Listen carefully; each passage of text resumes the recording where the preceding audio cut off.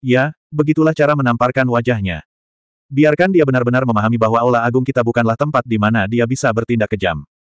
Murid-murid di sekitarnya semuanya menunggu untuk menyaksikan pertunjukan yang bagus.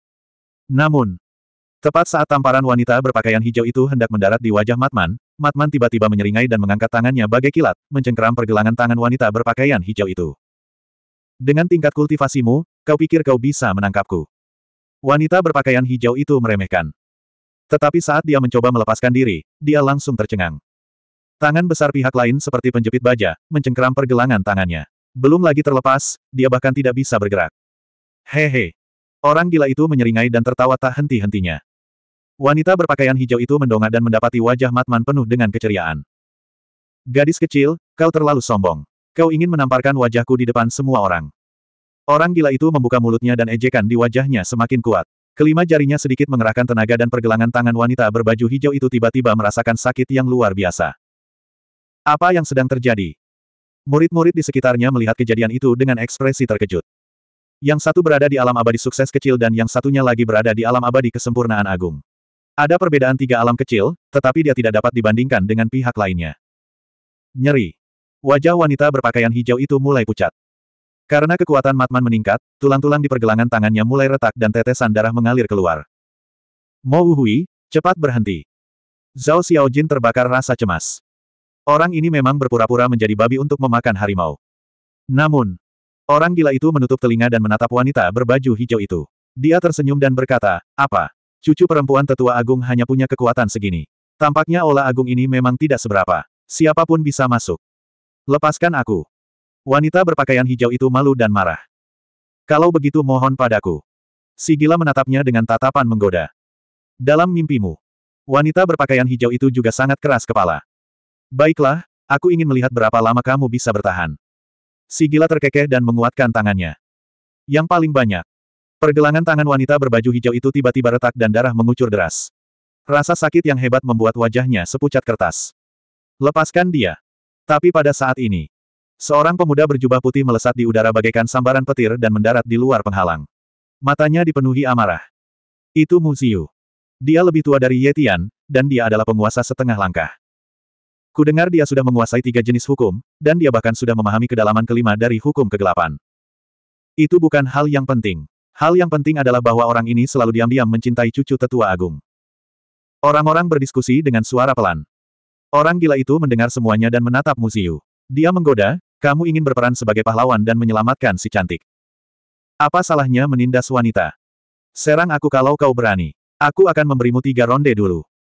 Mu Ziyu menatap dingin ke arah si gila. Haha. Orang gila itu tertawa dan melemparkan wanita berpakaian hijau itu ke udara dengan sebuah serangan telapak tangan. Dia berbalik dan berkata kepada Mu Ziyu, kalau begitu, datanglah. Kakak Dandan, kamu baik-baik saja. Zhao Xiaojin berlari mendekati wanita berpakaian hijau dan bertanya dengan khawatir. Saya baik-baik saja. Wanita berpakaian hijau itu menggelengkan kepalanya dan menatap orang gila itu sambil mengumpatnya. Penatua, bolehkah saya masuk? Mu Ziyu menatap lelaki tua berpakaian merah dan menunjuk ke penghalang.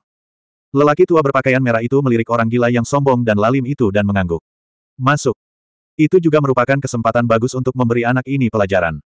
Mendengar ini, Mu Ziyu melangkah masuk ke dalam penghalang. Hukum kegelapan meraung seperti gelombang yang mengamuk, memancarkan aura mengerikan saat menyerang orang gila itu. Penggaris setengah langkah. Orang gila itu terkekeh dan melepaskan auranya dalam sekejap. Apa? Auranya. Dia juga seorang penguasa setengah langkah. Mata semua orang terbelalak karena marah. Pria tua berpakaian merah dan wanita berpakaian hijau adalah sama. Sangat cepat. Ada sedikit keterkejutan di mata Zhao Xiaojin. Dia menduga kekuatan orang gila itu pasti lebih kuat dari sebelumnya, tetapi dia tidak menyangka kalau dia sudah melangkah ke alam penguasa setengah langkah. Dengan kata lain, Orang gila itu telah memahami kedalaman kelima dari suatu hukum. Kecepatan ini terlalu mengerikan, bukan? Tidak kalah dengan Qin Fei yang sama sekali. Pada saat yang sama, ekspresi Mu Ziyu juga menunjukkan sedikit keterkejutan. Penguasa setengah langkah, terus kenapa? Orang gila itu menyeringai, dan hukum petir memancar keluar, menyerbu menuju hukum kegelapan. Ledakan. Kedua hukum besar itu bertabrakan dengan suara keras. Keduanya langsung mundur selangkah. Itulah hukum petir. Orang tua berpakaian merah itu bergumam. Hukum kegelapan Muziyu telah memahami kedalaman kelima. Dan hukum petir milik orang gila itu dapat menyaingi hukum kegelapan milik Muziyu. Jelas, orang gila itu telah memahami kedalaman kelima dari hukum petir. Mereka berdua memahami hukum petir, seperti yang diharapkan dari sepasang saudara. Ada penguasa setengah langkah yang kuat dan lemah. Jika hanya ada satu hukum, maka tidak diragukan lagi itu adalah yang terlemah. Dan sekarang, aku telah memahami tiga hukum. Setelah Muziu tenang, dia tersenyum jijik pada orang gila itu, dan tiga hukum pun muncul. Yang pertama adalah hukum kegelapan. Dua lainnya adalah hukum api dan hukum bumi. Lebih jauh lagi, kedua jenis energi hukum itu telah mencapai tingkat kedalaman kedua. Apakah kamu sedang pamer? Orang gila itu tertegun. Jika kau berpikiran begitu, maka aku tidak akan keberatan. Muziu tersenyum bangga dan tak lupa melirik wanita berbaju hijau itu, seolah berkata kepadanya, jangan khawatir, aku pasti akan membalaskan dendammu dan membuatnya berlutut di hadapan semua orang serta meminta maaf padamu. Memamerkan hukummu di hadapanku. Orang gila itu tertegun. Apakah ini lelucon? Dia tidak berani mengatakan apa pun lagi, tetapi dalam hal hukum, selain Qin Fei Yang, tidak ada yang bisa menarik perhatiannya. Tentu saja. Ini hanya terbatas pada orang-orang di generasi yang sama. Tidak ada cara untuk membandingkannya dengan orang-orang generasi tua. Jika kamu berinisiatif untuk meminta maaf kepada Nona Dan dan sekarang, aku bisa berbelas kasih. Mu Ziyu menatap orang gila itu seolah-olah kemenangan sudah di tangannya. Sikap arogan itu membuat orang gila itu akhirnya tidak bisa menahan tawa. Apa yang ditertawakannya? Mungkinkah dia masih belum yakin? Bukankah ini kebenaran yang ada di depan matamu? Semua orang memandang orang gila itu dengan curiga. Wanita berpakaian hijau itu juga menunjukkan ekspresi jijik. Dia belum pernah melihat orang yang begitu sombong. Namun lelaki tua berpakaian merah itu mengerutkan kening. Mengapa dia begitu percaya diri? Mungkinkah anak ini seperti Mo Yuan Yuan, menyembunyikan kekuatannya? Muziu mengangkat alisnya dan menatap orang gila itu, tertawa tidak bisa menyembunyikan situasimu saat ini. Haha. Orang gila itu tertawa makin riang. Mu Ziyu perlahan kehilangan kesabarannya. Kekuatan tiga hukum berubah menjadi tiga naga raksasa dan menyerang orang gila itu dengan kekuatan mengerikan. Kau ingin tampil di depan gadis kecil itu, kan? Lagi pula, kalian semua laki-laki, jadi itu bisa dimengerti. Tapi kamu salah memilih target. Bersaing denganku dalam hal hukum hanya akan membuatmu semakin malu. Buka mata kecilmu dan perhatikan baik-baik. Kakakku bukanlah satu-satunya orang jenius di dunia ini. Orang gila itu melangkah maju dan hukum guntur pun bergulir. Mengikuti dengan saksama. Hukum perang, hukum pembantaian, dan hukum kegelapan meraung. Terlebih lagi, dia telah memahami hukum pembantaian tingkat keempat dan hukum perang tingkat ketiga. Bahkan untuk hukum kegelapan yang baru saja dia pahami beberapa waktu lalu, dia telah memahami tingkat kedua. Ledakan. Keempat hukum itu bagaikan empat naga raksasa yang meraung ke segala arah dan menyerang hukum Muziu. Baik dari segi kuantitas maupun kualitas, orang gila itu melampaui Muziu. Tidak ada ketegangan. Hukum Muziu hancur di tempat saat seluruh tubuhnya terpental disertai darah mengalir keluar. Dia, dia, dia benar-benar menguasai empat jenis hukum. Belum lagi murid-murid yang lain, bahkan wanita berbaju hijau pun tidak bisa tetap tenang. Apa pentingnya empat jenis hukum? Orang gila itu tersenyum bangga saat cahaya suci muncul. Ini adalah hukum cahaya. Apa? Lima jenis hukum. Semua orang tercengang. Di dalam gua. Merasakan hukum cahaya orang gila itu, Qin Fei yang sedikit tertegun.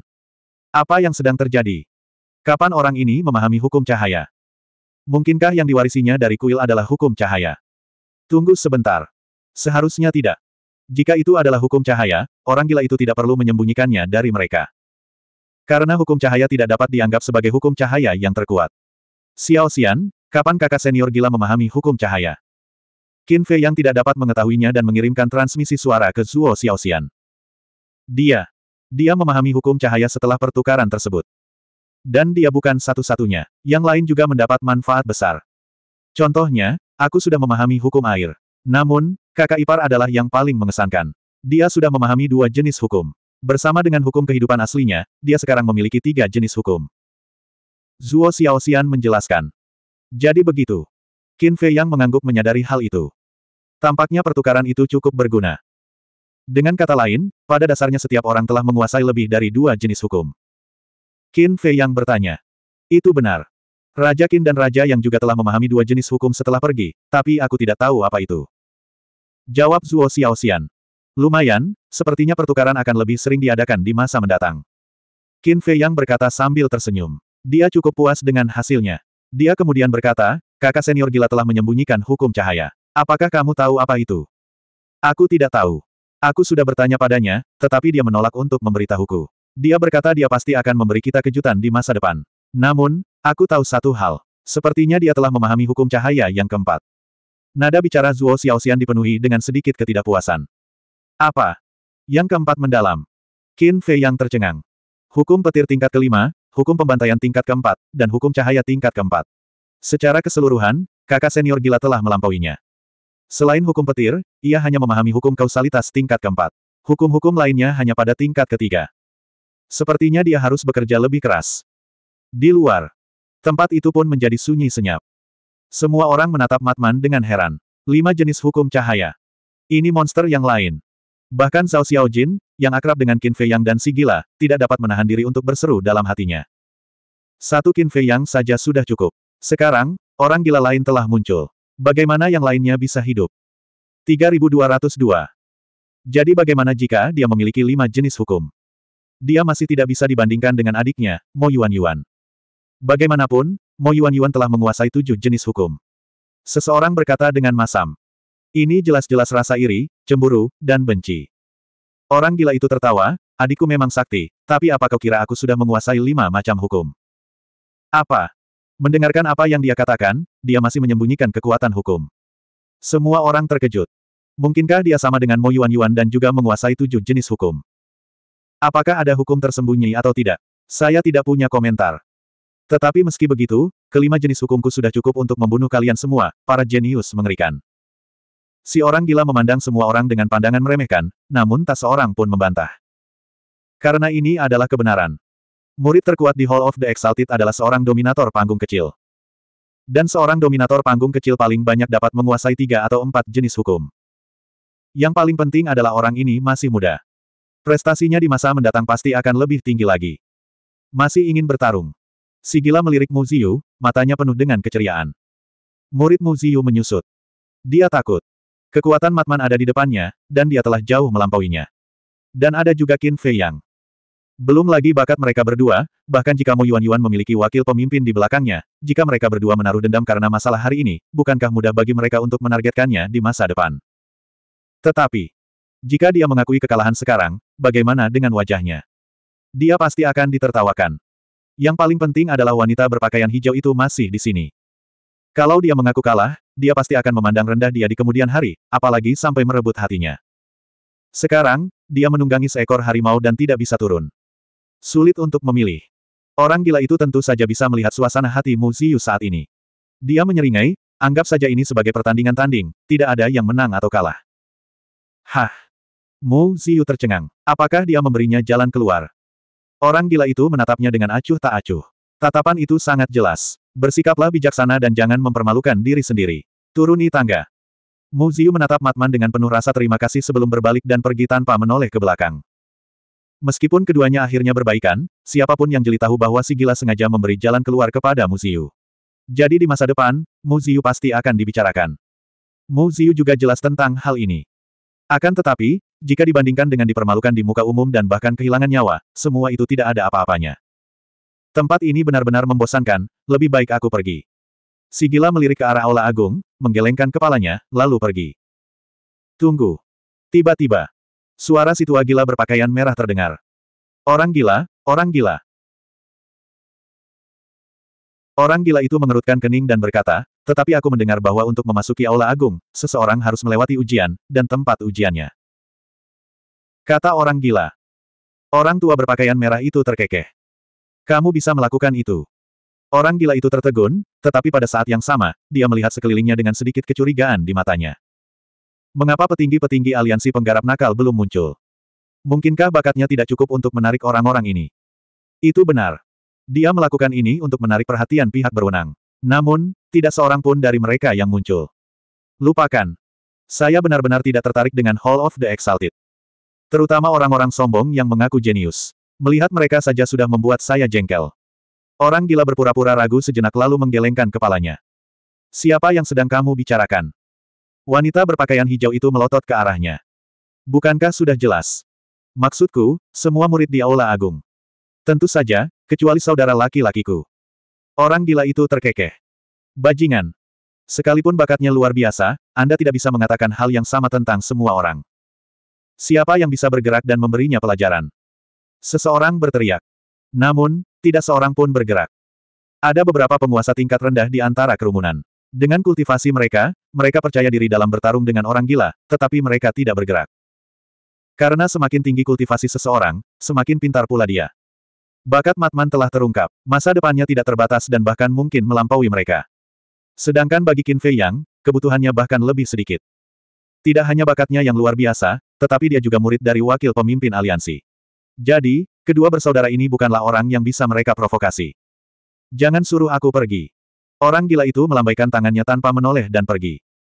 Dia sengaja memprovokasi para petinggi. Tapi meski begitu, tak satu pun tokoh besar muncul. Mungkinkah bakat yang ia tunjukkan tidak cukup untuk menarik perhatian mereka? Jika memang begitu, bukankah dia akan membuang-buang banyak waktu?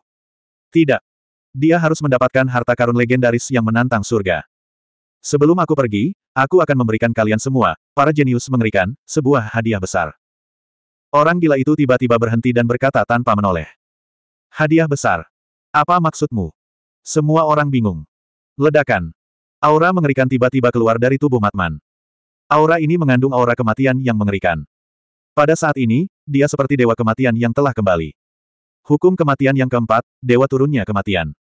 Saat semua orang kebingungan, suara Matman terdengar lagi. Hukum kematian. Semua orang yang hadir terkejut. Mereka segera mendongak dan melihat kekuatan hukum berwarna abu-abu keluar dari tubuh Matman. Aura kematian semakin kuat dan menyelimuti seluruh Hall of the Exalted. Semua orang tidak dapat menahan diri untuk tidak gemetar. Rasanya mereka seperti telah jatuh ke jurang neraka. Ketakutan yang tak tertahankan muncul tak terkendali dari lubuk hati mereka. Ledakan. Disertai suara keras, patung Dewa Kematian muncul di atas kepala Matman. Patung itu mengenakan jubah hitam dan kabut hitam menyelimutinya. Ia memegang sabit raksasa hitam pekat di tangannya yang memancarkan cahaya menyilaukan. Hukum kematian yang mendalam keempat. Orang tua berpakaian merah itu tercengang. Ini adalah salah satu hukum terkuat di dunia. Anak ini bukan hanya menguasai hukum kematian, tetapi dia juga memahami hukum mendalam keempat. Hukum yang terkuat. Siapa pun yang memahami hukum tertinggi akan menjadi penguasa di masa depan, tidak peduli seberapa lemah mereka. Tidak. Anak ini harus tinggal di Balai Agung. Dia sama seperti Mo Wuyuan. Mereka berdua adalah eksistensi yang dapat mengubah nasib aliansi penggarap nakal. Hadiah ini bukan untuk pamer, tetapi untuk mengingatkanmu bahwa selalu ada seseorang yang lebih baik.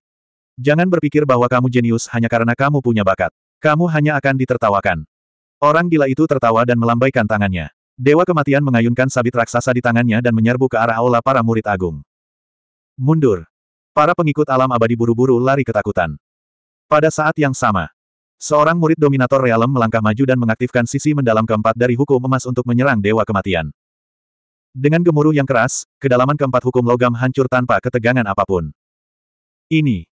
Mereka berdua menggunakan jurus keempat yang mendalam, tapi perbedaannya terlalu besar. Ya, itu penindasan yang total. Apakah ini kekuatan hukum yang terkuat? Benar-benar mengerikan. Semua orang terkejut. Murid dominator realem yang menyerang juga terkejut. Dia telah lama mendengar bahwa hukum terkuat lebih kuat daripada hukum lainnya. Sekarang setelah dia melihatnya, memang demikian adanya. Ledakan. Dia mengaktifkan hukum emas kelima yang mendalam dan menyerang Dewa Kematian. Pada saat ini. Baru pada saat itulah patung malaikat maut menghilang. Kuat. Jika saja aku dapat memahami hukum tertinggi. Semua orang memasang ekspresi iri. Itu saja, selamat tinggal. Si gila tersenyum bangga dan melangkah maju. Tunggu. Orang tua berpakaian merah itu berteriak tergesa-gesa dan segera menyerbu ke depan si gila. Apa lagi yang kamu inginkan? Orang gila itu mengerutkan kening. Kamu tidak bisa pergi. Orang tua berpakaian merah itu menggelengkan kepalanya. Tidak bisa pergi. Logika macam apa ini? Orang gila itu tertegun. Orang tua berbaju merah itu tidak menjawab. Dia melihat ke puncak aula diakon dan berkata, semuanya, berapa lama kalian akan tinggal di sini? Sudah waktunya untuk keluar. Hem, Orang gila itu mendongak dan melihat sebelas sosok di puncak gunung. Mereka adalah wakil pemimpin, anggota Hall of Fame, dan sembilan tetua. Pada saat ini, mereka semua terkejut dan tidak dapat pulih untuk waktu yang lama. Mo Yuan telah menguasai hukum terkuat, hukum sebab akibat. Dan Mo Hui juga telah menguasai hukum terkuat, hukum kematian. Monster macam apakah saudara-saudara ini? Tidak apa-apa kalau hanya satu monster, tapi keduanya sangat mengerikan. Itu benar. Mereka telah tiba sejak lama. Mereka menyembunyikan aura mereka dan mengamati Matman. Dan sebagaimana dugaan Matman, kelima jenis hukum itu tidak cukup untuk memasuki mata mereka. Karena sudah ada Qin Fei yang di depan mereka. Tujuh jenis hukum, termasuk hukum sebab akibat. Jadi sebagai perbandingan, kelima jenis hukum yang ditampilkan Matman sebelumnya tidak ada apa-apanya. Tentu saja. Jika tidak ada Qin Fei yang di depan mereka, bahkan jika si gila tidak mengungkapkan hukum kematian, itu sudah cukup untuk menimbulkan keributan. Namun sekarang, semuanya berbeda. Hukum kematian adalah hukum terkuat di dunia. Dan anak ini telah memahami yang keempat yang mendalam. Dia hanya tinggal satu langkah lagi menuju tingkat kelima yang mendalam. Dan di samping hukum kematian, hukum pembantaian anak ini juga telah memahami hukum mendalam keempat. Dengan kata lain, selama dia bekerja keras, dia akan segera melangkah ke tahap awal alam dominator. Dan dalam beberapa aspek, orang ini lebih baik dari Qin Fei Yang. Karena Qin Fei Yang baru memahami hukum sebab akibat sampai tingkat keempat yang mendalam. Apa yang kalian masih berdiri di sana? Orang tua berpakaian merah itu meraung. Akhirnya, semua petinggi gemetar dan segera menyerbu, mengepung orang gila itu. Hah! Orang gila itu menatap orang-orang itu dengan heran dan mengerutkan kening. Apakah kalian berencana untuk mengeroyokku? Mendengar ini, mulut wakil pemimpin dan yang lainnya berkedut. Dengan bakatmu yang hebat, siapa yang mau mengeroyokmu? Mo Hui, benar. Para anggota Hall of Fame memandang Matman sambil tersenyum. Apa yang kamu inginkan? Biar ku katakan padamu, aku tidak tertarik pada laki-laki, terutama laki-laki tua sepertimu. Si gila menutup dadanya dengan kedua tangannya dan menatap para anggota Hall of Fame dengan waspada. Mendengar ini, wajah Hall of Famers berubah menjadi hitam. Apakah anak ini sakit? Apa yang sedang dipikirkannya? 3203. Bagaimana mungkin Frenzy tidak tahu apa yang ingin dilakukan orang-orang ini? Namun dia harus berpura-pura bodoh. Sebelumnya, mereka tidak muncul, tetapi sekarang setelah dia menunjukkan hukum kematian, mereka semua keluar satu persatu. Bagaimana mereka bisa membiarkannya tetap berada di Hall of Famers? Mo Hui, saudaramu telah menjadi murid pribadiku. Kau seharusnya tahu itu, kan? Wakil pemimpin itu terkekeh. Aku tahu. Frenzy mengangguk. Pak Tua Ye, apa yang sedang kamu coba lakukan? Tidak cukup hanya memiliki Mo Hui, dan kamu masih ingin merebutnya. Biarkan saya katakan, seseorang harus tahu bagaimana caranya merasa puas. Kepala istana dari Aula Agung melotot ke arah wakil kepala aliansi. Ini karena saya menghargai bakat. Wakil pemimpin itu terkekeh. Jangan mengucapkan kata-kata yang kedengarannya begitu muluk kepada orang tua ini. Pokoknya, orang lain punya kemampuan untuk menangkapnya, tapi kamu tidak. Para anggota Hall of Fame mendengus. Anda harus menyampaikan kata-kata Anda dengan jelas. Saya wakil pemimpin aliansi penggarap nakal. Bagaimana mungkin saya tidak memenuhi syarat? Wakil pemimpin juga marah. Karena kamu sudah punya murid. Kenapa kamu masih merebutnya? Apakah kamu tidak takut ditertawakan? Kata anggota Hall of Fame itu dengan marah. Ditertawakan. Itu tidak ada. Jika saudara-saudara itu menjadi muridku, aku tidak tahu berapa banyak orang yang akan merasa iri. Wakil pemimpin tersenyum tipis. Tidak tahu malu. Wajah para anggota Hall of Fame penuh dengan penghinaan. Batuk, batuk. Itu, bisakah kita benar-benar menangkapnya? Pada saat ini, sang tetua agung berbicara. Para tetua lainnya juga menatap para anggota Hall of Fame dengan penuh harap. Para anggota Hall of Fame mendengar ini dan melotot tajam. Lihat mata orang tua ini. Apakah kamu mengerti? Kesembilan orang itu tersenyum pahit. Mereka tahu itu tidak ada hubungannya dengan mereka. Kamu Wuhui. Orang tua ini tidak suka bertele-tele. Ayo jadi muridku. Orang tua ini telah menguasai hukum waktu. Jika kamu mengikuti orang tua ini, orang tua ini akan mengajarkanmu segalanya. Suatu hari, saat kamu memahami hukum waktu, kamu akan menguasai dua hukum terkuat. Para anggota Hall of Fame menjadi yang terdepan dalam merayunya. Hukum waktu. Frenzy sedikit tertegun dan tiba-tiba tidak dapat menahan godaan. Semua orang tahu bahwa pengalaman adalah hal yang paling penting. Sekalipun dia tidak membutuhkannya, itu tetap dapat membantu teratai api, karena teratai api telah memahami hukum waktu. Jika dia bisa mendapatkan penjelasan dan pengalaman tentang hukum waktu, itu pasti akan sangat berguna bagi teratai api. Mo Hui, kamu tidak boleh terlalu serakah dalam hal hukum kematian. Sudah sangat mengesankan bahwa kamu dapat sepenuhnya memahami hukum kematian. Ini adalah sesuatu yang dapat saya bantu. Wakil pemimpin itu tersenyum percaya diri. Tolong aku. Orang gila itu tertegun. Itu benar. Sejujurnya, aku juga menguasai hukum kematian. Wakil pemimpin itu berkata dengan suara rendah. Apa? Orang gila itu terkejut. Benda tua ini benar-benar menguasai hukum kematian. Jangan dengarkan dia. Kamu tidak boleh serakah. Itu hanya untuk orang biasa. Dengan bakatmu, kamu tidak perlu mempertimbangkan hal-hal seperti itu sama sekali. Lagi pula, tidak peduli seberapa kuat hukum kematian, bagaimana mungkin hukum itu lebih praktis daripada hukum waktu. Lihatlah aula ketenaran ini. Jika bukan karena orang tua ini yang menggunakan hukum waktu untuk mengatur susunan waktu, bagaimana mungkin para murid ini bisa berkembang begitu cepat? Jadi, dalam hal prestasi, dalam hal kontribusi terhadap aliansi pembudidaya nakal, orang tua ini jauh lebih dari beberapa orang tua. Para anggota Hall of Fame tersenyum bangga. Itu benar. Si gila mengangguk. Saya sungguh iri. Ya, aliansi pembudidaya nakal telah terbentuk selama bertahun-tahun, tetapi ini adalah pertama kalinya saya melihat pemandangan seperti itu. Wakil pemimpin dan kepala aula sedang berjuang untuk menerima murid, dan tetua agung dan yang lainnya jelas memiliki ide yang sama. Sayangnya, di hadapan wakil pemimpin dan kepala aula, mereka hanya bisa berdiri di pinggir. Petik dua petik dua. Murid-murid di sekitarnya memandang Matman dengan rasa iri.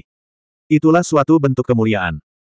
Meskipun wakil ketua dan para anggota Hall of Fame juga pernah memperebutkan Qin Fei Yang, mereka tidak mengetahuinya, jadi ini adalah pertama kalinya mereka melihat pemandangan seperti itu. Pada saat yang sama, wakil pemimpin itu menatap Matman dan berkata, ada apa? Time Array memang lebih praktis, tetapi apakah berguna saat menghadapi musuh? Saat menghadapi musuh, tetap diperlukan metode yang ampuh. Sedangkan untuk hukum kematian, kamu telah memahami hukum keempat yang mendalam. Aku yakin kamu tidak perlu aku untuk memberitahumu betapa kuatnya hukum itu. Hukum itu jauh lebih kuat daripada hukum waktu. Setelah wakil ketua selesai berbicara, dia tidak lupa menatap para anggota Hall of Fame dengan pandangan jijik. Apa? Jauh lebih kuat dari hukum waktu. Pak Tua Ye, aku tidak yakin dengan kata-katamu. Bagaimana kalau kita pergi ke arena pertarungan dan melihat siapa yang lebih kuat? Kata anggota Hall of Fame itu dengan wajah dingin. Tentu saja, aku tidak takut padamu. Wakil pemimpin itu mencibir. Kalau begitu, ayo kita berangkat. Para anggota Hall of Fame berteriak. Tetua Agung itu bergegas maju dan membujuk mereka, saya katakan, kalian berdua, ada begitu banyak murid yang menonton. Bisakah kalian tidak bersikap memalukan? Keduanya sedikit tercengang. Mereka melihat ke arah murid-murid di sekitar dan berteriak serempak, apa yang kalian lihat? Apakah menurut Anda Anda dapat dibandingkan dengan Mou Yuan dan Mou Hui? Cepatlah pergi berkultivasi. Rombongan murid itu menciut dan segera berbalik untuk melarikan diri. Namun dalam hati mereka, mereka merasa disalimi. Kalau mau berkelahi, ya berkelahi saja. Kenapa kamu melampiaskan kemarahanmu pada kami? Murid-murid juga punya hak asasi manusia, oke. Okay. Tetua Agung itu menggelengkan kepalanya dan mendesah, kalian berdua sebaiknya berhenti bertengkar. Pertama, tanyakan pendapat Mo Hui. Karena sampai sekarang, dia belum mengatakan bahwa dia ingin menjadi muridmu. Keduanya tercengang dan langsung menatap Frenzy secara bersamaan.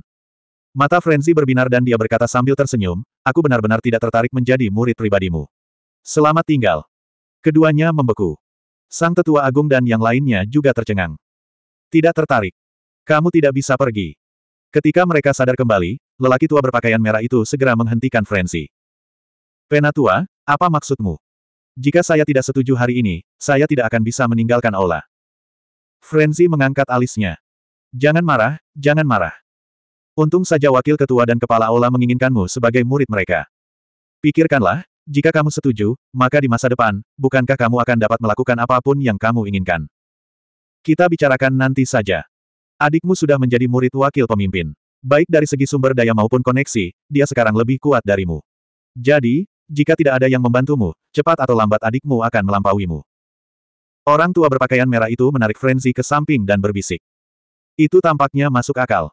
Frenzy mengangguk. Apa maksudmu sepertinya masuk akal? Orang tua berpakaian merah itu memutar matanya ke arahnya. Kalau begitu berikan aku saran. Siapa yang harus aku pilih? Frenzy bertanya dengan lembut. Dalam hal keegoisan, aku jelas ingin kamu memilih kakak laki-lakiku. Lagi pula, adikmu sudah menjadi murid wakil ketua. Jadi, kakakku tidak boleh dikesampingkan. Dan aku juga mengerti kakakku. Bahkan jika kalian berdua memilih wakil ketua, dia tidak akan melampiaskan amarahnya padamu, tetapi harga dirinya pasti akan terluka. Tapi aku tetap harus menghormati pilihanmu. Saya hanya berharap aliansi pembudidaya nakal kita dapat berkembang secara seimbang. Orang tua berpakaian merah itu tersenyum.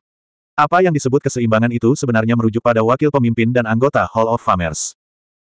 Jika Qin Fei Yang dan Frenzy keduanya menjadi murid wakil pemimpin, maka keseimbangan ini tidak akan ada lagi. Lebih-lebih lagi, prestasi masa depan mereka berdua pasti tidak akan rendah. Pada saat itu, wakil pemimpin dapat mengandalkan kedua muridnya, Qin Fei Yang dan Frenzy, untuk menekan Hall of Famers. Ini bukan yang ingin dilihat lelaki tua berpakaian merah. Meskipun dia tahu bahwa kakak laki-lakinya tidak tertarik dengan hal-hal seperti kekuasaan, sebagai adiknya, dia pasti harus lebih memikirkannya. Pendek kata, dia tidak bisa membiarkan wakil pemimpin mendominasi. Itu masuk akal. Frenzy merenung sejenak, lalu menoleh untuk melihat wakil ketua dan anggota Hall of Fame, dan berkata, aku setuju, tetapi ku dengar saudaraku mendapat banyak harta dari tanganmu. Mengapa kamu tidak bisa memihak satu dan mendiskriminasi yang lain? Inilah tujuan utamanya. Hah! Ketika keduanya mendengar hal itu, mereka tercengang. Jika kamu tidak memberikannya kepadaku, maka itu berarti kamu meremehkanku. Jika kamu meremehkanku, lalu mengapa aku harus mencari masalah dan lari untuk menjadi muridmu? Frenzy mengerucutkan bibirnya. Ini masalah kecil. Asalkan kau setuju, orang tua ini akan segera memberikannya kepadamu. Aula Dewa Agung adalah yang pertama menyatakan pendiriannya. Dia mengeluarkan sebuah kotak besi panjang dan dua kotak giok seukuran telapak tangan. Mata Frenzy tiba-tiba berbinar saat dia mengangguk dan berkata, kalau begitu sudah diputuskan. Tuan, tolong jaga aku di masa depan. Anggota Hall of Fame tersenyum. Wakil pemimpin itu tercengang. Dia setuju begitu saja. Dia belum mengungkapkan pendapatnya. Anggota Hall of Fame menatap wakil pemimpin itu dan tersenyum bangga. Pak Tuaye, jika kau terus memburunya sekarang, maka kau benar-benar tidak akan jujur. Wajah wakil pemimpin itu menjadi gelap. Tadinya dia ingin sekali memperjuangkannya, tetapi begitu mendengar hal itu, dia sudah kehabisan akal. Karena itu benar. Frenzy sudah setuju. Jika dia terus memburunya, itu berarti dia bukan orang baik. Saat itu, bukan hanya Hall of Famer, tetapi bahkan para tetua akan membencinya. Sayang sekali. Mengapa dia tidak buru-buru mengungkapkan pendapatnya di depan Hall of Famers? Dia merindukan murid yang mengerikan itu begitu saja. Kamu cukup baik. Kamu punya Mo Feng Yuan, dan aku punya Mo Hui. Keduanya adalah yang terbaik. Lagi pula, jika Mo Hui benar-benar mengikutimu, apakah kamu punya energi untuk mengajar begitu banyak orang? Jangan lupa, kamu masih punya cucu. Kata anggota Hall of Fame. Baiklah, baiklah. Berhentilah mengomel. Aku tidak bilang kalau aku akan terus memburunya. Wakil pemimpin itu menatap tajam ke arah Hall of Famers, lalu menatap Frenzy dan tersenyum. Kalian saudara-saudara adalah pilar masa depan aliansi penggarap nakal kita. Bekerja keraslah. Meskipun kalian tidak menjadi muridku, jika ada sesuatu yang tidak kalian pahami di masa mendatang, kalian selalu dapat bertanya kepadaku. Oke. Frenzy mengangguk. Kalau begitu, sudah. Diberhentikan. Wakil pemimpin melambaikan tangannya dan berbalik untuk pergi. Sembilan tetua memandang Hall of Famers dengan iri dan juga berbalik untuk pergi. Kapan mereka bisa menemukan murid yang luar biasa seperti itu? Setelah Hall of Famers menyaksikan wakil pemimpin dan sembilan tetua pergi, dia menatap Frenzy dan tersenyum. Nak, seleramu bagus. Jika kau mengikutiku, aku jamin masa depanmu akan bebas dari kekhawatiran. Itu hal sekunder. Saya sangat tertarik dengan hukum waktu. Mengapa kamu tidak menjelaskannya kepadaku sekarang? Frenzy menyingkirkan kotak logam dan dua kotak giok dan bertanya diam-diam. Tentu. Ayo pergi. Anggota Hall of Fame itu terkekeh dan membawa Frenzy ke alun-alun tempat pintu keluar lapangan sidang berada. 3204. Seperti yang diharapkan dari saudara-saudara, mereka menyembunyikannya dengan sangat baik. Wanita berjubah hijau itu berdiri di depan gua dan melihat ke belakang si gila. Kemudian dia melihat ke gua ketiga, matanya dipenuhi dengan kemarahan. Kakak Dandan, mengapa aku merasa bahwa kamu nampaknya berprasangka buruk terhadap mereka? Mereka tampaknya tidak melakukan apa pun padamu. Zhao Xiaojin menatap wanita berjubah hijau itu dengan curiga. Pokoknya, aku tidak menyukainya. Wanita berjubah hijau itu mendengus dan kembali ke gua. Zhao Xiaojin tersenyum tak berdaya, melirik gua ketiga, dan juga memasuki gua. Black Dragon juga menonton pertunjukan itu. Setelah semua orang pergi, dia tidak bisa menahan diri untuk menggelengkan kepala dan mendesah. Monster macam apakah Mo Yuan dan Mo Hui itu? Kemudian, ia berbalik dan terbang ke depan gua, menatap Huo Luan dan berkata, kamu telah bekerja keras. Tidak apa-apa. Huo Luan segera tersenyum. Baiklah, aku akan masuk dulu. Kamu teruslah berjaga dan jangan biarkan siapa pun masuk.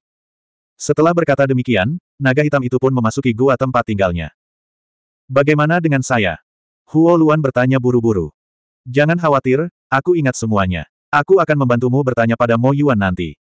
Naga hitam tersenyum tanpa menoleh ke belakang. Setelah memasuki gua, dia melihat Qin Fei yang duduk sendirian di depan meja teh dengan kepala tertunduk sambil merenung. Apa yang sedang kamu pikirkan? Naga hitam mengayunkan cakarnya dan mendirikan penghalang di sekeliling gua sambil menatap Qin Fei Yang dan bertanya. Batuk-batuk. Aku sedang memikirkan kakak laki-lakiku ini. Dia benar-benar menguasai hukum kematian. Ekspresi Qin Fei Yang juga dipenuhi dengan keterkejutan. Bukankah kalian saudara-saudara? Kenapa kamu bahkan tidak tahu hukum kematiannya? Naga hitam tertegun dan menatap Qin Fei Yang dengan curiga. Aku pernah bertanya padanya sebelumnya, tapi dia memang selalu misterius. Kalau kali ini dia tidak dipaksa mengungkapkannya, aku tidak tahu berapa lama dia akan menyembunyikannya dariku. Qin Fei Yang menggertakkan giginya dan berkata. Dipaksa. Naga hitam tertegun dan berkata dengan heran, mungkinkah dia sengaja mengungkapkannya? Untuk mendapatkan harta karun yang menantang surga dari Hall of Famers. Dalam.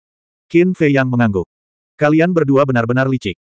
Naga hitam menggelengkan kepalanya dan tersenyum pahit. Sama juga. Qin Fei yang terkekeh. Ngomong-ngomong, apa yang harus kita lakukan dengan luan api? Naga hitam bertanya.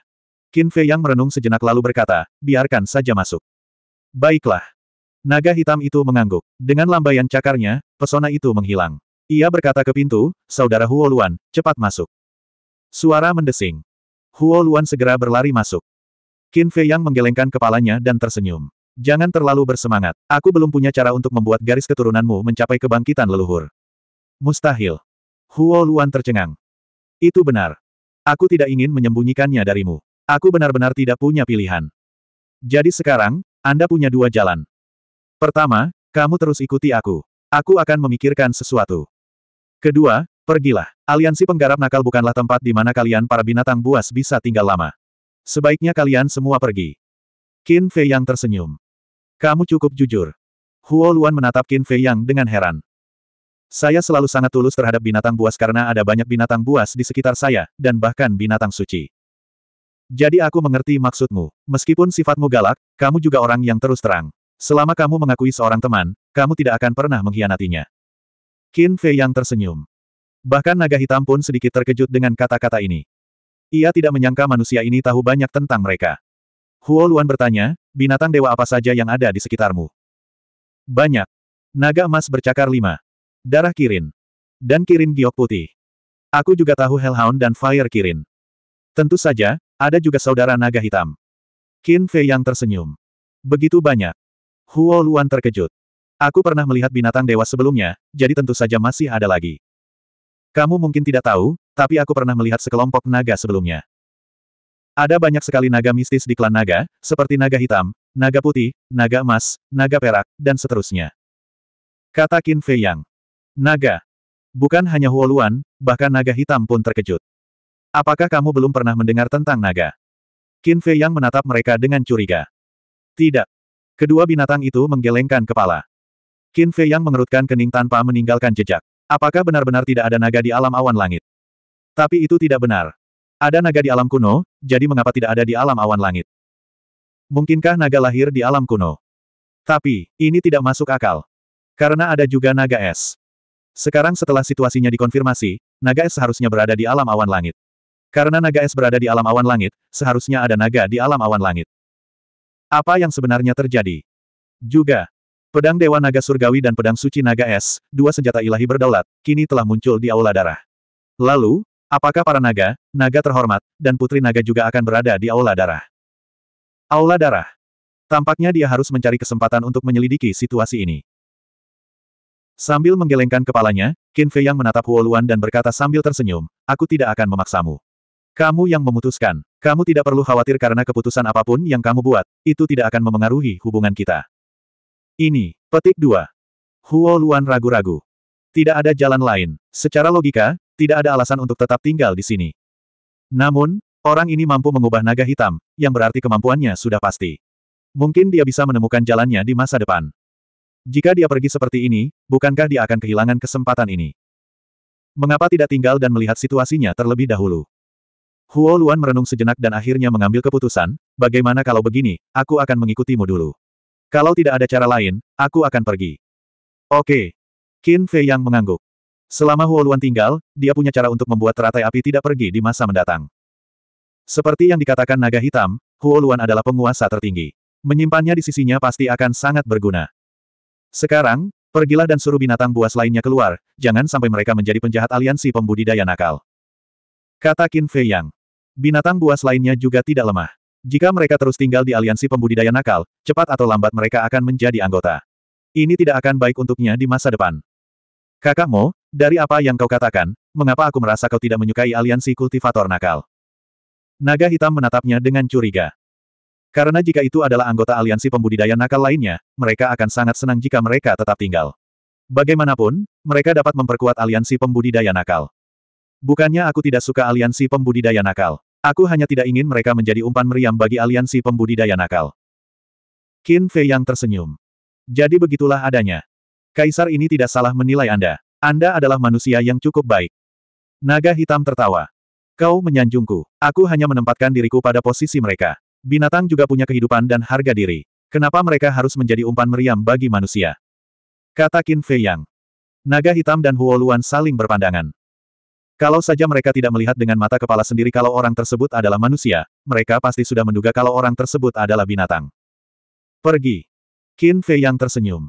Oke. Kedua binatang itu berbalik dan berlari keluar gua, menghilang secepat kilat.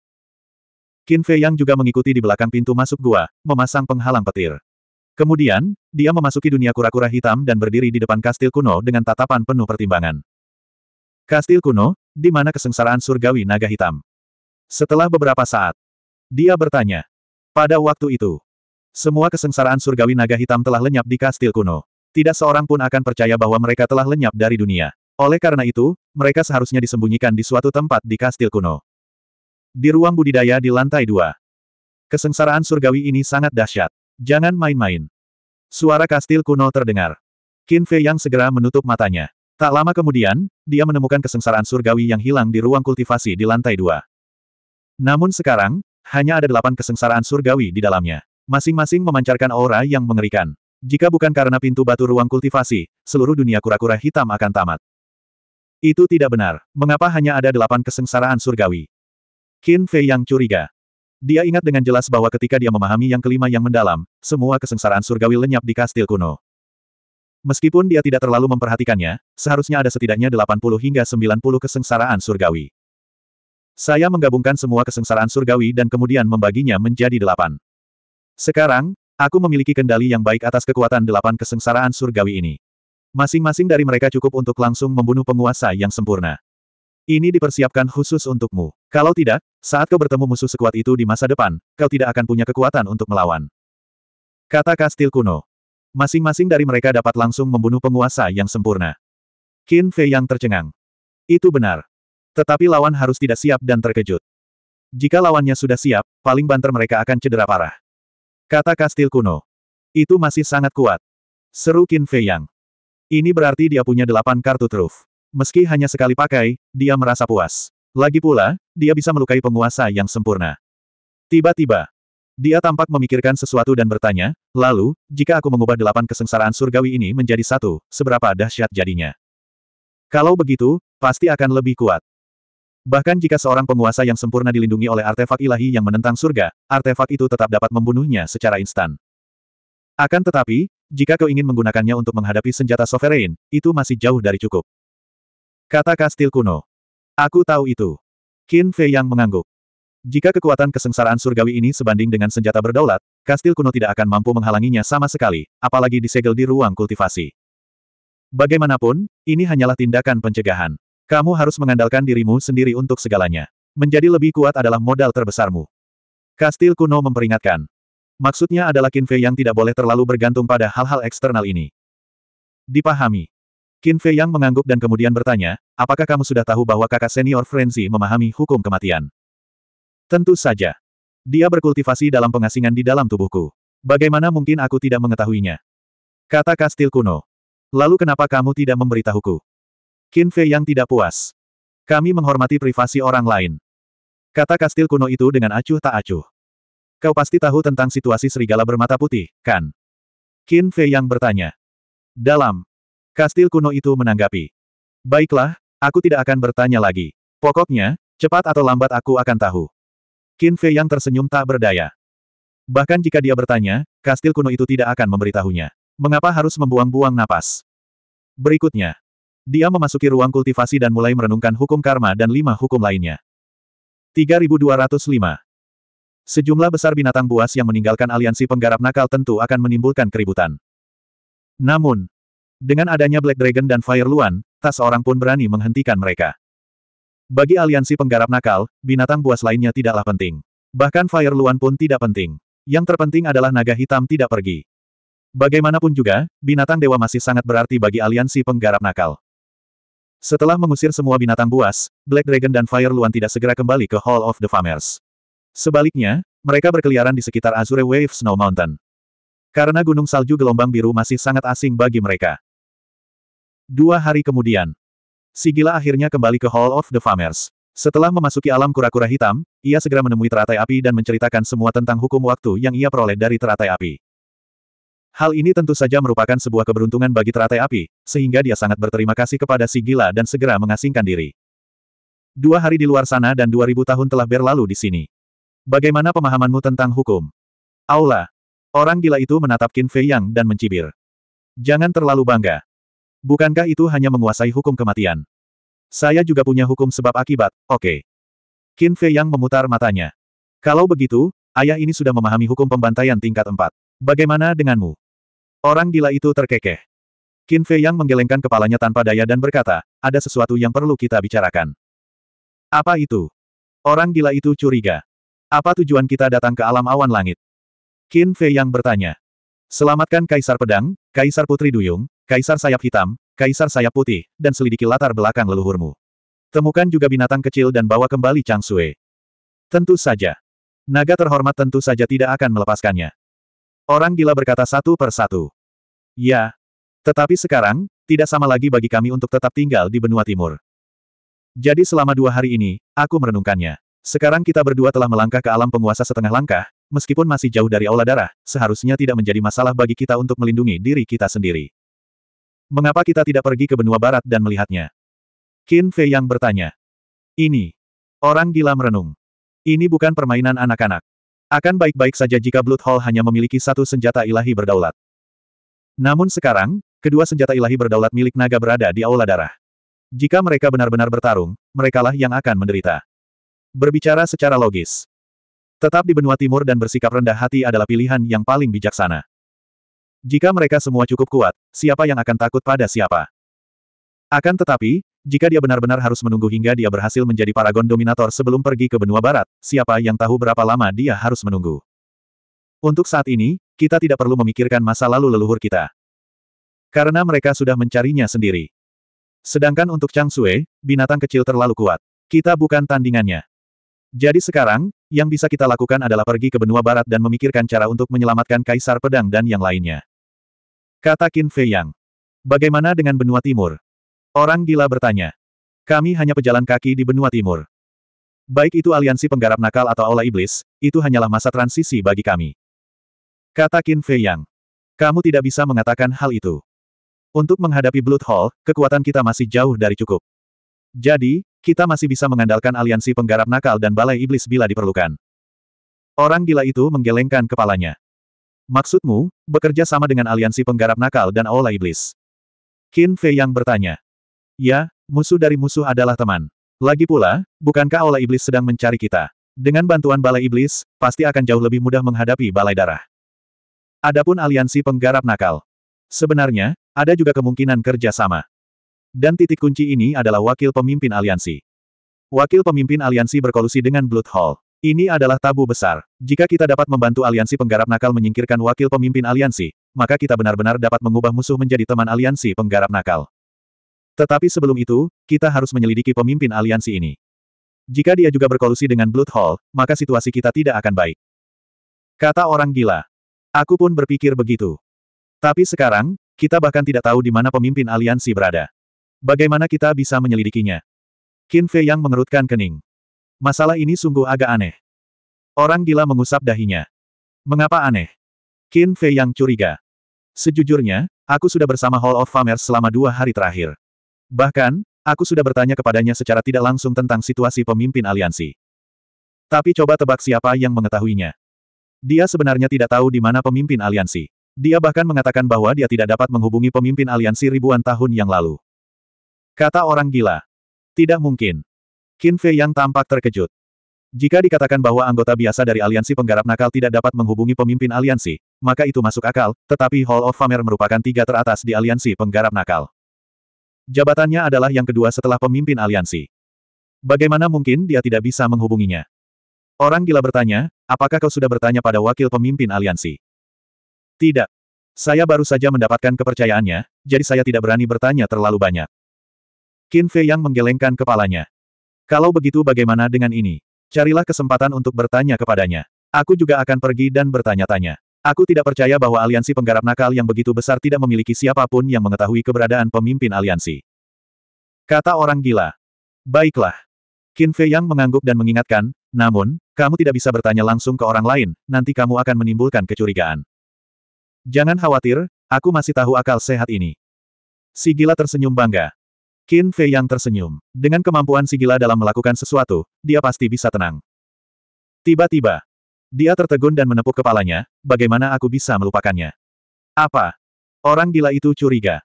Naga api yang kita temui di tempat uji coba. Berdasarkan sikap Yetian dan yang lainnya, jelas bahwa posisinya di aliansi penggarap nakal tidaklah biasa. Mungkin dia tahu sesuatu. Kata Qin Fei Yang. Ya. Bagaimana mungkin aku melupakannya? Orang gila itu pun menepuk-nepuk kepalanya dengan keras. Ketika Zhao Xiaojin dan aku keluar dari tempat ujian, ketua aula ini bersikap sangat pendiam di hadapan naga api. Saya pikir posisinya di aliansi penggarap nakal mungkin berada di atas wakil pemimpin aliansi dan anggota Hall of Fame. Qin Fei Yang menganalisis. Kalau begitu, mungkin ada hubungan langsung dengan pemimpin aliansi. Orang gila itu terkejut. Itu benar. Qin Fei Yang mengangguk dan berkata, namun, aku juga mendengar bahwa setelah keluar dari tempat uji coba, ia menghilang tanpa jejak. Di mana kita akan menemukannya? Tidak ada yang sulit di dunia ini bagi mereka yang mau. Saya akan menyelidiki masalah ini terlebih dahulu. Satu hal lagi, Zhao Eryong terbunuh. Kita harus mencari orang lain sekarang. Kalau tidak, akan merepotkan untuk meninggalkan aliansi penggarap nakal. Kata orang gila. Saya sudah memikirkan masalah ini. Total ada 10 orang yang menjaga penghalang. Kami kenal petugas interogasi dua. Sedangkan untuk sembilan orang lainnya, kami tidak begitu mengenal mereka. Jika kami mencoba membujuk mereka, itu pasti akan sangat merepotkan. Bahkan bisa jadi akan menimbulkan kekacauan besar. Qin Fei yang merenung. Lalu, maksudmu kita harus bergerak ke petugas interogasi dua? Orang gila bertanya. Tidak. Petugas interogasi dua adalah orang kepercayaan wakil pemimpin aliansi. Kita jelas tidak bisa mencarinya. Namun, saya punya kandidat yang cocok dalam pikiran. Qin Fei yang tersenyum tipis. Siapa? Orang gila itu penasaran. Zhang Deyuan. Yaitu, ayah Zhang Sanbao. Sekarang, dia sudah berada di bawah kendaliku. Jika dia menggantikan petugas interogasi dua untuk menjaga perbatasan, maka kita tidak perlu melakukan banyak hal. Qin Fei yang tersenyum. Tapi orang ini dulunya adalah penguasa kota timur. Sekarang setelah kita memintanya untuk menjaga perbatasan, apakah dia akan setuju? Orang gila bertanya. Apakah menurutmu dia masih punya pilihan? Karena Zhang Sanbao dan Zhang Santian, serta serangan diam-diam terhadapku terakhir kali, wakil pemimpin aliansi dan petinggi lainnya sudah cukup tidak puas dengannya. Jika dia tidak mendengarkan rencanaku, aku jamin dia tidak akan hidup lebih lama dari besok. Adapun penggantian petugas interogasi dua, itu bahkan lebih mudah. Jika saatnya tiba, aku akan dengan santai mengatakan beberapa patah kata di depan wakil pemimpin aliansi, dan dia akan dapat mengambil alih posisi itu. Qin Fei yang tersenyum. Baiklah kalau begitu, aku serahkan masalah ini padamu. Si gila mengangguk. Tapi masalahnya sekarang adalah saya tidak bisa muncul. Seperti yang dikatakan naga hitam, jika aku muncul sekarang, mereka pasti akan bertanya bagaimana aku merekonstruksi tubuh dan jiwaku secepat itu. Jika aku tidak menemukan alasan yang tepat, maka mereka akan curiga ketika saatnya tiba. Qin Fei yang mengusap pelipisnya. Ia tidak pernah menyangka akan tiba saatnya susunan waktu alam kura-kura hitam akan membuatnya khawatir. Itu memang masalah. Si gila mengangguk. Saat itu, Qin Fei yang berada di alam mayat hidup sempurna. Untuk merekonstruksi tubuh dan jiwa seorang ahli alam mayat hidup sempurna, akan memakan waktu setidaknya puluhan ribu tahun, atau bahkan lebih lama.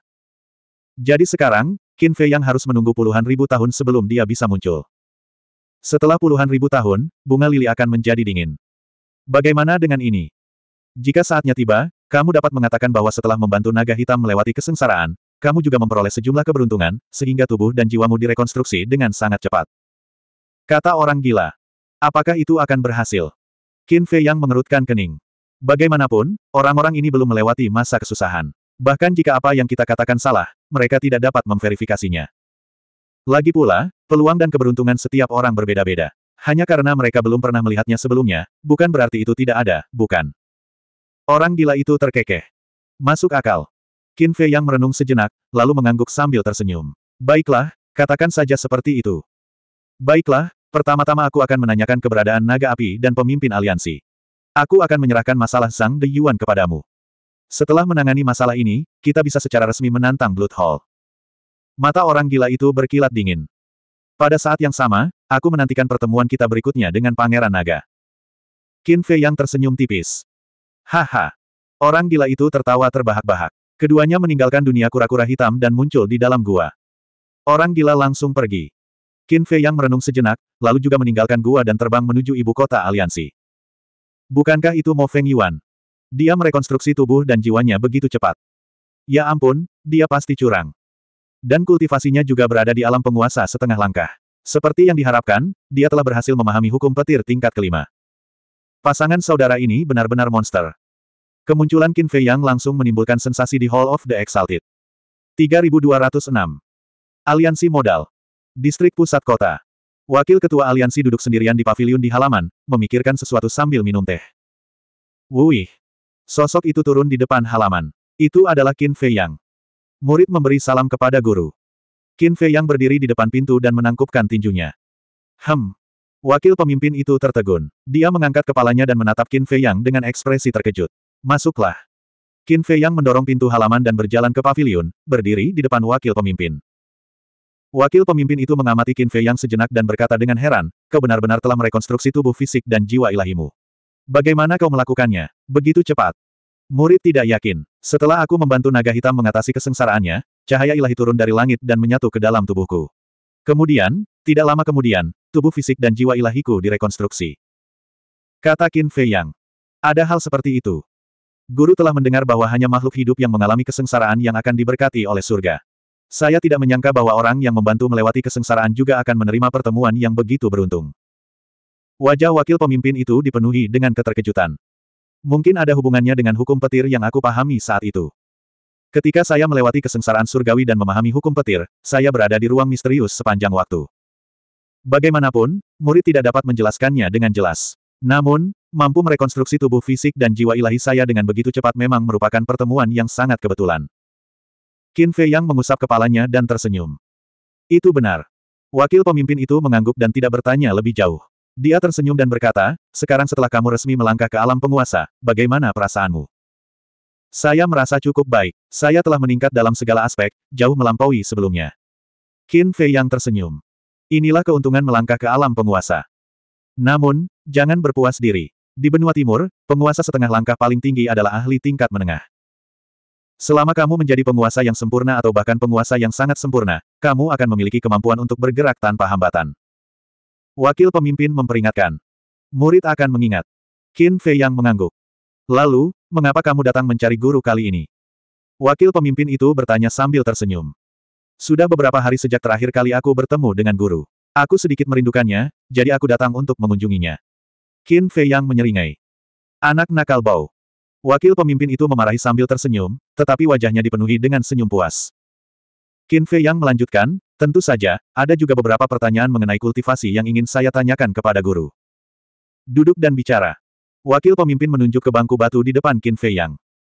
Qin Fei Yang duduk di bangku batu dan berkata, murid telah mendengar bahwa di atas alam mendalam kelima, ada alam mendalam tertinggi, alam mendalam tertinggi. Benarkah itu? Kau benar-benar tahu tentang ini. Wakil pemimpin itu tercengang. Itu hanya kabar angin. Kata Qin Fei Yang. Wakil pemimpin menuangkan secangkir teh dan menyerahkannya kepada Qin Fei Yang. Terima kasih, Guru. Qin Fei Yang menangkap cangkir tehnya. Di atas kelima mendalam, memang ada mendalam tertinggi dan mendalam tertinggi. Terlebih lagi, kedua mendalam ini sangat mengerikan. Tidaklah berlebihan jika dikatakan bahwa jika kau memahami Ultimate Profound, bahkan jika kau hanya setengah langkah sovereign, kau masih bisa bertarung melawan sovereign puncak. Wakil pemimpin itu menyeruput teh dan berkata sambil tersenyum. Sangat kuat. Qin Fei yang terkejut. Ya. Wakil pemimpin mengangguk dan berkata, adapun Ultimate Profound, itu adalah Ultimate Profound di dunia. Sejauh yang guru ketahui, tidak ada seorang pun di alam awan langit yang telah memahami Ultimate Profound. Qin Fei yang tidak dapat menahan diri untuk tidak tertegun. Tidak ada seorang pun di seluruh alam awan langit yang memahami yang maha mendalam. Tahukah kau mengapa pemimpin kita disebut sebagai orang nomor satu di alam awan langit dalam hukum ruang waktu? Wakil pemimpin bertanya. Aku tidak tahu. Qin Fei yang menggelengkan kepalanya. Alasannya adalah karena dia hanya selangkah lagi dari Ultimate Profound. Kata wakil pemimpin. Mata Qin Fei yang bergetar. Pemimpin aliansi penggarap jahat sebenarnya sekuat ini. Namun, meskipun dia hanya selangkah lagi, satu langkah ini adalah pembeda antara surga dan bumi. Untuk berhasil mengambil langkah ini jauh lebih sulit daripada naik ke surga. Wakil pemimpin itu menggelengkan kepala dan mendesah. Qin Fei Yang bertanya dengan tenang, lalu, apakah pemimpin yang sedang menyendiri saat ini sedang mencoba memahami yang maha mendalam? Saya tidak yakin. Wakil pemimpin itu menggelengkan kepalanya. Tidak yakin. Qin Fei Yang tercengang. Ya. Pemimpin kami datang dan pergi tanpa jejak sepanjang hari. Tidak ada yang tahu di mana dia berada. Guru sering mencoba menghubunginya, tetapi saya tidak bisa. Saya tidak tahu di mana dia bersenang-senang. Ekspresi wakil pemimpin itu agak tidak berdaya. Hati Qin Fei yang bergetar. Dia tidak bisa menghubungi anggota Hall of Fame dan wakil ketua. Mengapa demikian? Sedangkan untuk Ultimate Profound dan Ultimate Profound, jangan terlalu memaksakan diri. Saat ini, yang terpenting bagimu adalah meningkatkan level kultivasimu. Wakil pemimpin memperingatkan. Ya. Qin Fei yang mengangguk. Kemudian, dia bertanya dengan rasa ingin tahu, lalu, berapa banyak orang di aliansi penggarap nakal kita yang telah memahami Ultimate Profound? Hanya tiga. Wakil pemimpin itu tersenyum. Tiga. Yang satu pasti pemimpinnya. Mungkinkah dua lainnya adalah Anda dan anggota Hall of Fame? Qin Fei yang terkejut. Ya. Ini juga alasan mengapa sepuluh tetua agung lebih rendah dari kita. Meskipun mereka semua adalah penguasa yang sempurna, mereka belum memahami keagungan tertinggi. Oleh karena itu, kekuatan mereka lebih rendah dari kita. Namun, kekuatan beberapa tetua ini tidak boleh diremehkan. Karena pada dasarnya mereka semua telah menguasai pintu masuk ke Ultimate Profound, mereka sedikit lebih kuat daripada penguasa sempurna biasa. Wakil pemimpin itu tersenyum tipis. Jadi begitu. Qin Fei Yang mengangguk menyadari hal itu. Singkatnya, bagi Anda, Ultimate Profound seharusnya dibiarkan berjalan sesuai dengan alurnya yang alami. Jika Anda cukup beruntung untuk memasuki pencerahan dan memahami Ultimate Profound, itu adalah sesuatu yang layak dirayakan. Namun, jika tidak, jangan memaksakannya. Lagi pula, jalan itu diaspal selangkah demi selangkah. Jangan mengambil lebih dari yang bisa kamu kunyah. Kalau tidak, kamu tidak akan mendapatkan apa-apa. Wakil pemimpin memperingatkan lagi. Dipahami. Qin Fei yang mengangguk. Ia mengambil cangkir tehnya dan menyesapnya. Kemudian, ia melihat sekeliling dan bertanya, di mana ketiga saudara Sing? Mereka, Singda dan Sing San sama-sama berkultivasi. Sing Er masih menjaga perbatasan. Wakil pemimpin itu tersenyum. Masih menjaga perbatasan. Qin Fei yang tercengang. Ya. Kami belum menemukan kandidat yang cocok. Kami hanya bisa menunjuknya untuk membantu menjaga perbatasan saat ini. Wakil pemimpin itu menggelengkan kepalanya. Mendengar ini, Mata Qin Fei yang berkedip. Apakah itu salah Sing Er? Baginya mengatakan hal ini, artinya ketiga saudara Sing itu sungguh berarti bagi wakil pemimpin itu. Qin Fei yang berpura-pura merenung sejenak. Kemudian, matanya berbinar. Dia menatap wakil pemimpin dan berkata, Tuan, saya sudah memikirkan seseorang yang bisa Anda biarkan menggantikan Sing Er. Siapa? Wakil pemimpin itu tercengang. Zhang Deyuan. Kata Qin Fei Yang. Zhang Deyuan. Wakil pemimpin itu tercengang. Dia bertanya, mantan penguasa kota timur yang menyelinap ke arahmu. Ya. Dia memiliki kultivasi alam abadi sempurna. Dia adalah orang yang paling cocok untuk menjaga perbatasan. Qin Fei yang mengangguk. Tapi dia berhasil mengendap-endap mendekatimu. Kita tidak bisa mempercayainya sama sekali. Wakil pemimpin itu mengerutkan kening. Tuan, Anda terlalu khawatir. Setelah begitu banyak hal, apakah menurut Anda dia masih berani main-main? Lagi pula, dia adalah penguasa kota timur. Membiarkannya menjaga perbatasan juga merupakan hukuman. Qin Fei yang tersenyum.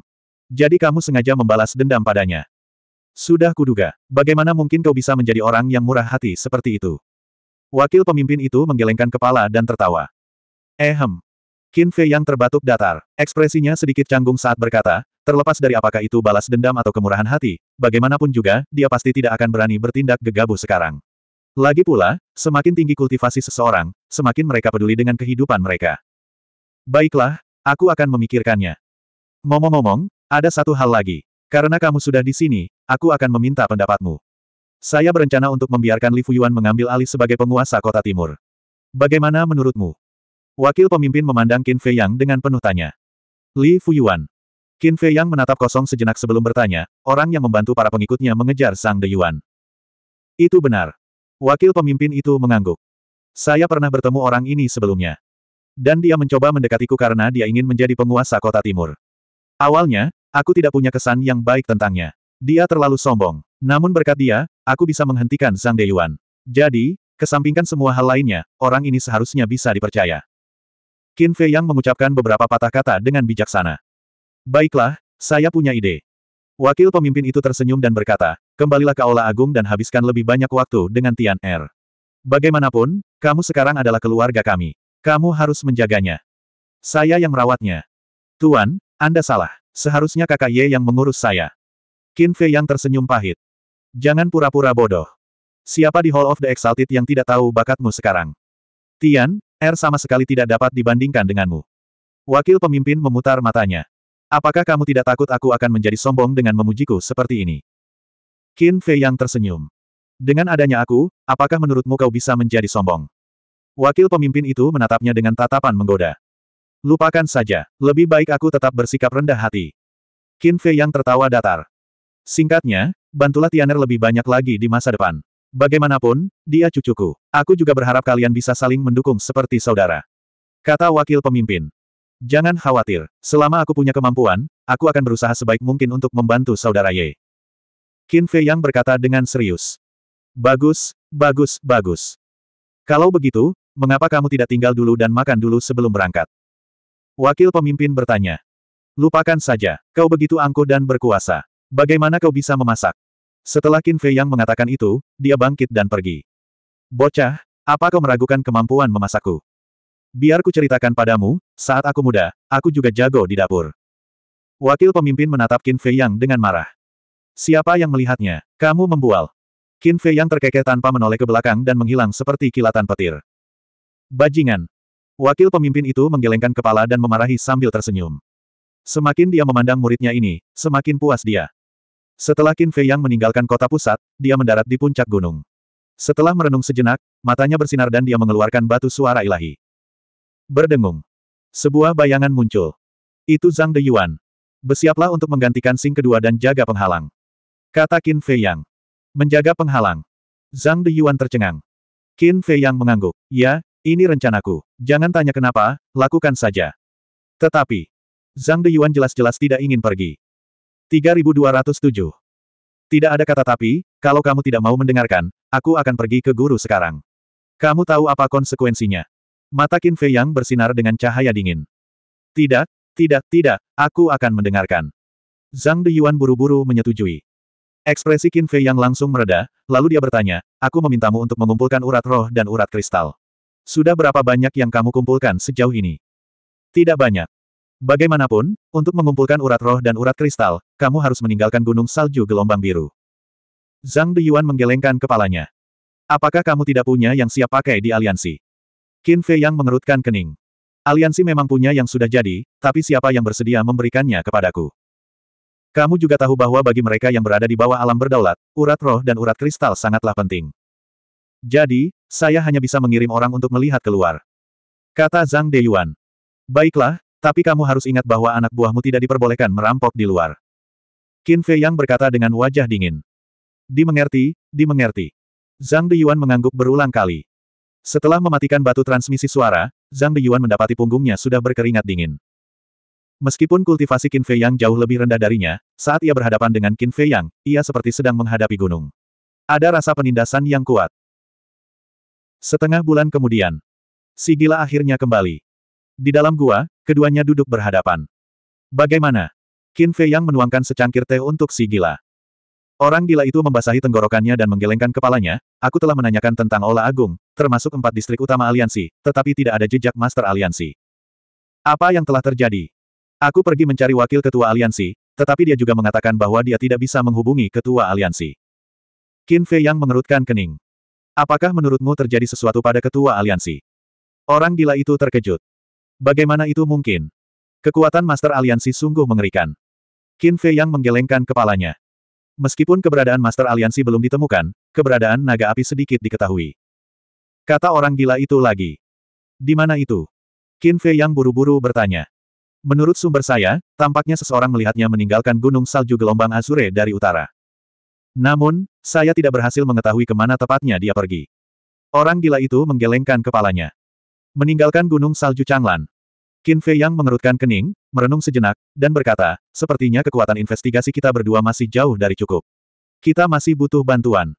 Setelah berkata demikian, Qin Fei Yang membawa si gila ke dunia kura-kura hitam dan langsung mengirim pesan kepada tetua Huo. Apakah ketua aliansi tidak ada di ibu kota aliansi? Penatua Huo juga terkejut ketika mendengar permohonan mereka. Berdasarkan penyelidikan kami saat ini, dia seharusnya tidak berada di ibu kota aliansi. Kata Qin Fei Yang. Baiklah, Aku akan meminta Chu Yun untuk menyelidikinya. Penatua Huo mengangguk. Tunggu. Melihat tetua Huo hendak mematikan batu transmisi suara dewa, Qin Fei yang buru-buru menghentikannya dan berkata, juga, ada satu hal lagi yang menurutku harus kamu ketahui. Apa itu? Penatua Huo menatapnya dengan curiga. Apakah kamu tahu identitasnya di aliansi penggarap nakal? Qin Fei yang melambaikan tangannya, dan seekor ular piton raksasa muncul. Ini adalah tubuh naga api sebelumnya. Dia. Penatua Huo terkejut dan bertanya, Anda pernah melihatnya sebelumnya? Ya. Lebih jauh lagi, kami bahkan membantunya melewati kesengsaraannya dan berubah menjadi naga api. Qin Fei yang mengangguk. Kalau begitu pergilah dan temukan dia. Dia pasti tahu keberadaan Master Aliansi. Kata Penatua Huo. Sekarang sudah hilang. Kami tidak dapat menemukannya. Tunggu, dari apa yang kamu katakan, kamu tahu identitasnya. Qin Fei Yang dan si gila terkejut. Tentu saja aku tahu. Ketua Aliansi Penggarap Jahat memiliki dua ular piton yang sangat kuat. Kedua ular piton ini berpasangan, dan kekuatan mereka hanya kalah dari ketua aliansi di Aliansi Penggarap Jahat. Kata Penatua Huo dengan suara yang dalam. Hanya kalah dari ketua aliansi. Kalau begitu, bukankah mereka lebih kuat dari wakil ketua aliansi dan anggota Hall of Fame? Qin Fei yang terkejut. Bukan berarti mereka lebih kuat dari mereka, tetapi mereka juga tidak lebih lemah. Mereka berdua telah mencapai kedalaman tertinggi. Dan naga api yang kau bicarakan adalah anak dari dua ular piton ini. Oleh karena itu, statusnya di aliansi penggarap nakal relatif tinggi. Oleh karena itu, aku menduga bahwa ia pasti mengetahui keberadaan Master Aliansi. Penatua Huo menjelaskan. Jadi begitu. Qin Fei Yang dan orang gila tercerahkan. Karena sudah hilang, tidak ada yang bisa kita lakukan. Bagaimana dengan ini? Kalian tetaplah di ibu kota aliansi dan tunggu sampai muncul. Segera cari kesempatan untuk menanyakannya. Pada saat yang sama, saya juga akan meminta Cuyun untuk mengirim seseorang untuk mencari mereka di luar. Penatua Huo menyarankan. Baiklah, mari kita lakukan itu. Qin Fei yang mengangguk. Oh benar, aku juga sudah memikirkan sesuatu. Aku ingin tahu apakah kalian pernah mendengarnya di aliansi penggarap nakal. Tetua Huo tiba-tiba berkata. Apa itu? Qin Fei Yang dan si gila menatapnya dengan curiga. Beberapa hari yang lalu, seseorang dari Blood Hall mengirim surat tantangan. Kata Penatua Huo. Surat tantangan. Keduanya tercengang. Ya. Tetua Huo mengangguk dan berkata, isi umumnya adalah Aula Darah Tanah Barat, Aula Iblis Tanah Timur, Aula Langit Tanah Selatan, dan Aula Dewa Tanah Utara sedang menyelenggarakan pertemuan pertukaran untuk generasi muda. Pertemuan pertukaran. Qin Fei Yang dan si gila tercengang. Jangan berpikir bahwa pertemuan pertukaran ini hanya sekadar obrolan dan minum teh.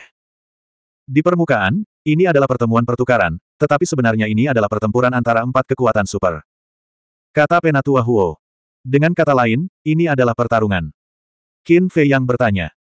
Bukankah begitu caramu mengatakannya? Ini adalah pertempuran yang sengit. Lagi pula, menurut analisis saya, masalah ini. Berbicara sampai di sini, Tetua Huo menatap mereka berdua dengan aneh dan berkata, ditujukan kepada kalian. Ditujukan pada kita. Keduanya saling memandang. Ya. Karena apa yang disebut pertemuan pertukaran ini belum pernah terjadi sebelumnya. Namun, kali ini, aku hanya menyebarkan berita bahwa kalian telah diam-diam memasuki Aula Iblis, dan Aula Darah melakukan ini. Apakah ada kebetulan seperti itu di dunia ini? Lagi pula, aku tahu betul wajah orang-orang dari Blood Hall itu. Kalau mereka tidak punya motif, mereka tidak akan bersusah payah.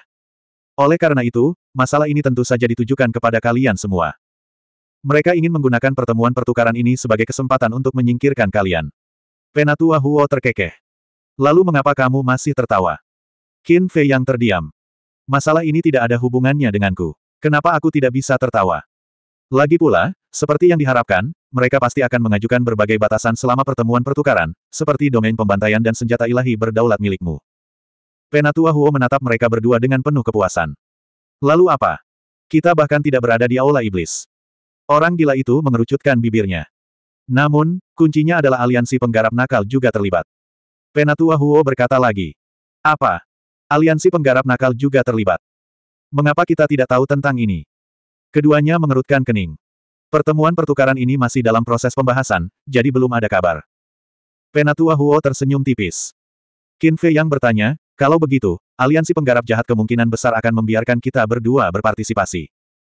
Hal ini akan bergantung pada keputusan wakil pemimpin aliansi dan anggota Hall of Fame. Saya memberitahu kalian terlebih dahulu agar kalian siap secara mental. Kata Penatua Huo. Aula Langit dan Aula Dewa tidak bodoh. Mereka jelas tahu tujuan Aula Darah, jadi mengapa mereka masih ikut campur. Qin Fei yang mengerutkan kening.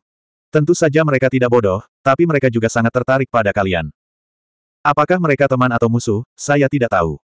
Penatua Huo menggelengkan kepalanya. Baiklah, kami akan memperhatikannya. Misi saat ini adalah menemukan pemimpin aliansi dan naga api. Kata Qin Fei Yang. Dalam. Penatua Huo menganggukkan kepalanya, dan proyeksi itu menghilang. Pertemuan pertukaran. Orang gila itu menundukkan kepalanya dan merenung sejenak sebelum menatap Qin Fei Yang dan bertanya, apa pendapatmu tentang masalah ini?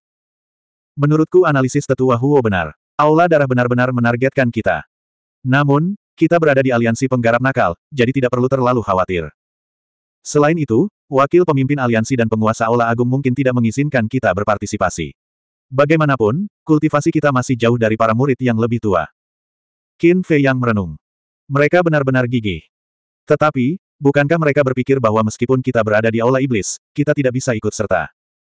Orang gila itu mencibir. Jika memang begitu, mereka pasti akan memikirkan cara untuk memaksa kita berpartisipasi. Misalnya, hadiahnya. Orang yang mendapat tempat pertama akan diberi hadiah harta karun tertinggi. Bisakah kamu menahan godaan ini? Qin Fei yang terkekeh. Jika saya tidak tahu tujuannya, saya pasti tidak akan bisa menolaknya. Namun sekarang setelah saya mengetahuinya, ceritanya berbeda. Si gila tersenyum sinis. Kita akan membicarakannya saat waktunya tiba. Mungkin mereka punya beberapa kartu truf. Pada saat itu, kita harus berpartisipasi meskipun kita tidak mau. Singkatnya, kita tidak akan terlalu beruntung dengan gaya Blood Hall. Qin Fei yang menggelengkan kepalanya.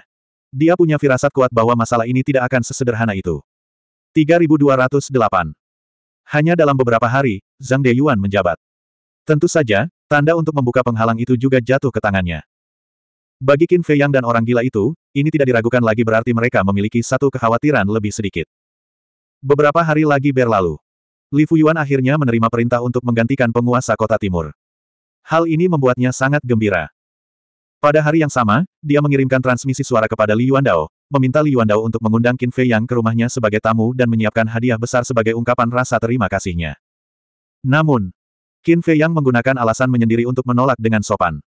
Ini karena orang sombong seperti Li Fuyuan dapat dihubungi, tetapi lebih baik untuk sesedikit mungkin kontak.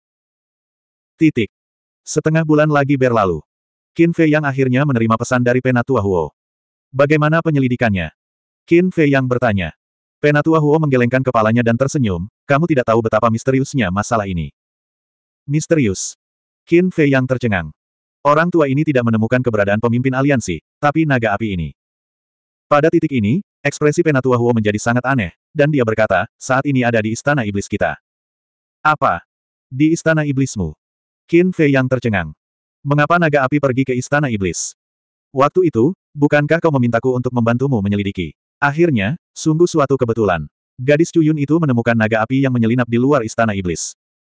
Cuyun menangkapnya dan bertanya, itu adalah naga api yang kamu sebutkan. Kata Penatua Huo. Licik. Mengapa dia menyelinap ke istana iblismu? Qin Fei yang curiga. Kami bertanya, tetapi dia lebih baik mati daripada mengatakan apa pun. Tetua Huo menggelengkan kepalanya. Kultivasinya tidak banyak, tetapi tulangnya cukup kuat. Lalu di mana sekarang? Qin Fei yang bertanya. Itu terkunci pada Cuyun. Penatua Huo tersenyum. Lalu apa yang ingin kamu lakukan dengannya? Qin Fei yang bertanya sambil tersenyum. Bagaimana menurutmu? Penatua Huo bertanya. Kalian yang menangkapnya, aku tidak punya hak untuk memutuskan. Qin Fei yang terkekeh. Berhentilah berpura-pura. Berdasarkan hubungan antara balai iblis kita dan aliansi penggarap nakal, kita seharusnya membunuhnya. Karena meskipun kita membunuhnya, aliansi penggarap nakal tidak akan bisa berkata apa-apa. Bagaimanapun, merekalah yang menerobos masuk ke istana iblis. Namun, lelaki tua ini tahu bahwa kamu juga tertarik padanya. Itulah sebabnya aku menyimpannya. Kata Penatua Huo. Baiklah. Qin Fei yang tersenyum tak berdaya dan mengangguk. Saya akui bahwa saya memang tertarik karena saya benar-benar ingin tahu mengapa harus mengambil risiko yang sangat besar untuk pergi ke istana iblis Anda. Orang tua ini juga ingin tahu. Penatua Huo merenung sejenak dan berkata, bagaimana kalau ini, aku akan memberikannya kepadamu saat kamu punya waktu. Tunggu sebentar. Saya harus membuat rencana untuk ini. Qin Fei yang melambaikan tangannya dan kemudian menundukkan kepalanya untuk merenung.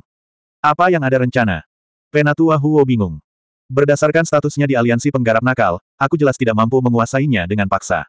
Kalau tidak, aku pasti akan menjadi pihak yang menderita kerugian. Jadi, saya harus mencari kesempatan untuk mendapatkan kepercayaannya. Selama aku bisa mendapatkan kepercayaannya, maka secara alami ia akan memberitahuku alasannya. Qin Fei yang tersenyum. Benarkah begitu? Penatua Huo tiba-tiba mengerti dan mengangguk. Baiklah. Saya mengerti. Mata Qin Fei yang tiba-tiba berbinar, dan dia tersenyum, kamu akan berpura-pura melakukannya di depan umum sehingga kamu dapat menjadikannya contoh. Setelah itu, aku akan memanfaatkan kesempatan untuk menyelamatkannya dari kalian semua. Nak, kau benar-benar punya banyak sekali trik.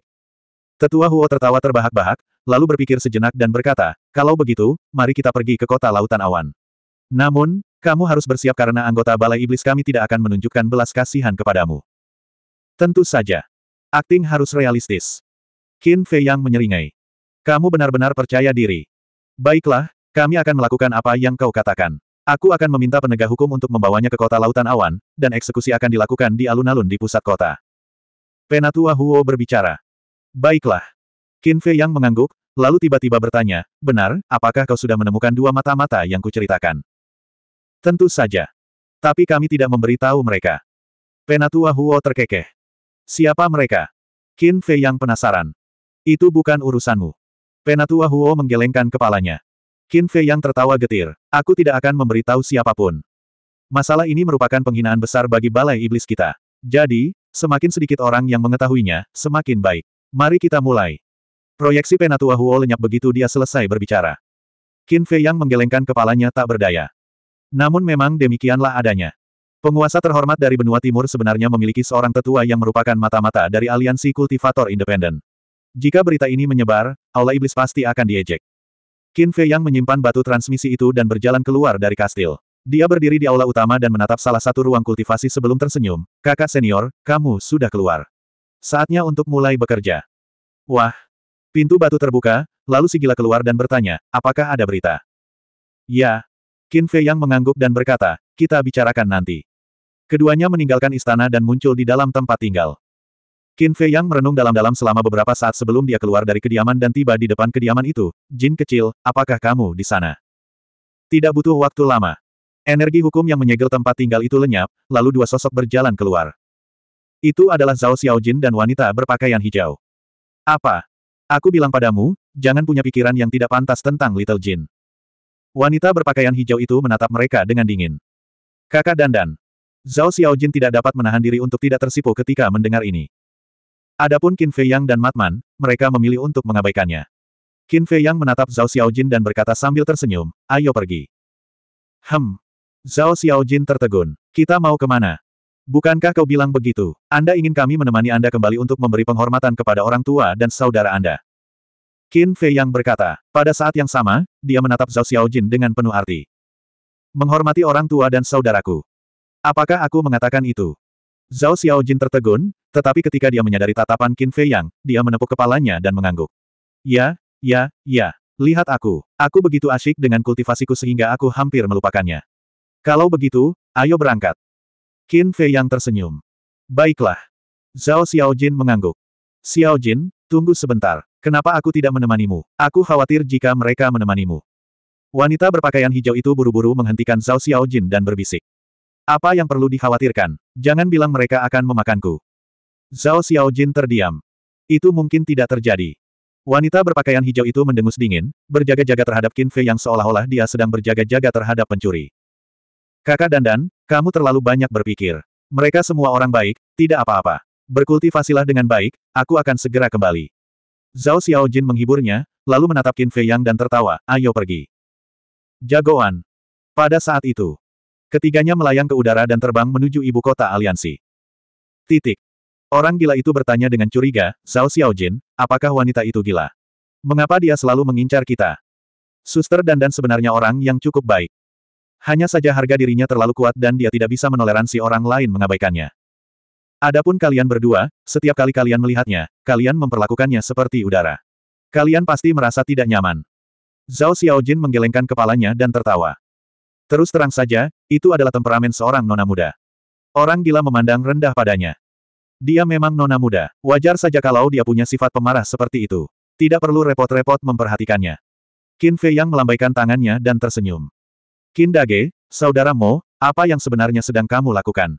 Aku tidak ingat memintamu untuk menemaniku kembali. Zhao Xiaojin menatap curiga ke arah Qin Fei Yang dan si gila. Aku juga tidak tahu. Tanya saja dia.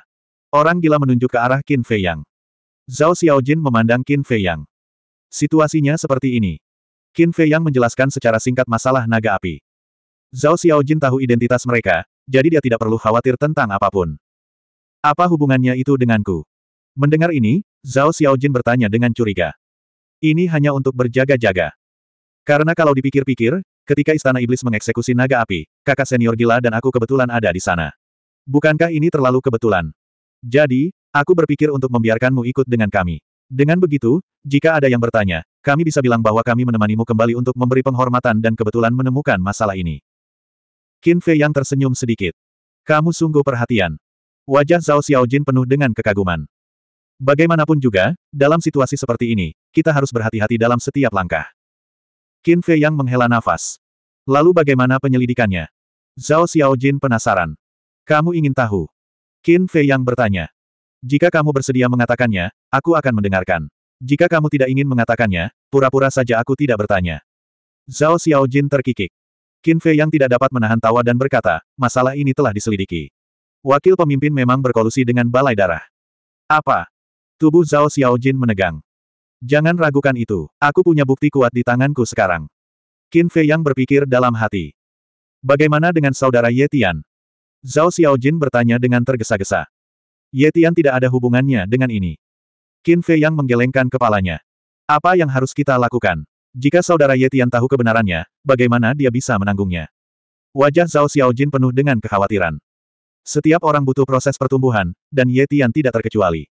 Oleh karena itu, dia harus menghadapi apa yang harus dia hadapi. Kita tidak bisa membantunya dalam masalah ini. Dia hanya bisa menanggungnya sendiri. Qin Fei yang tersenyum tipis. Mengapa wakil pemimpin begitu kacau pikirannya?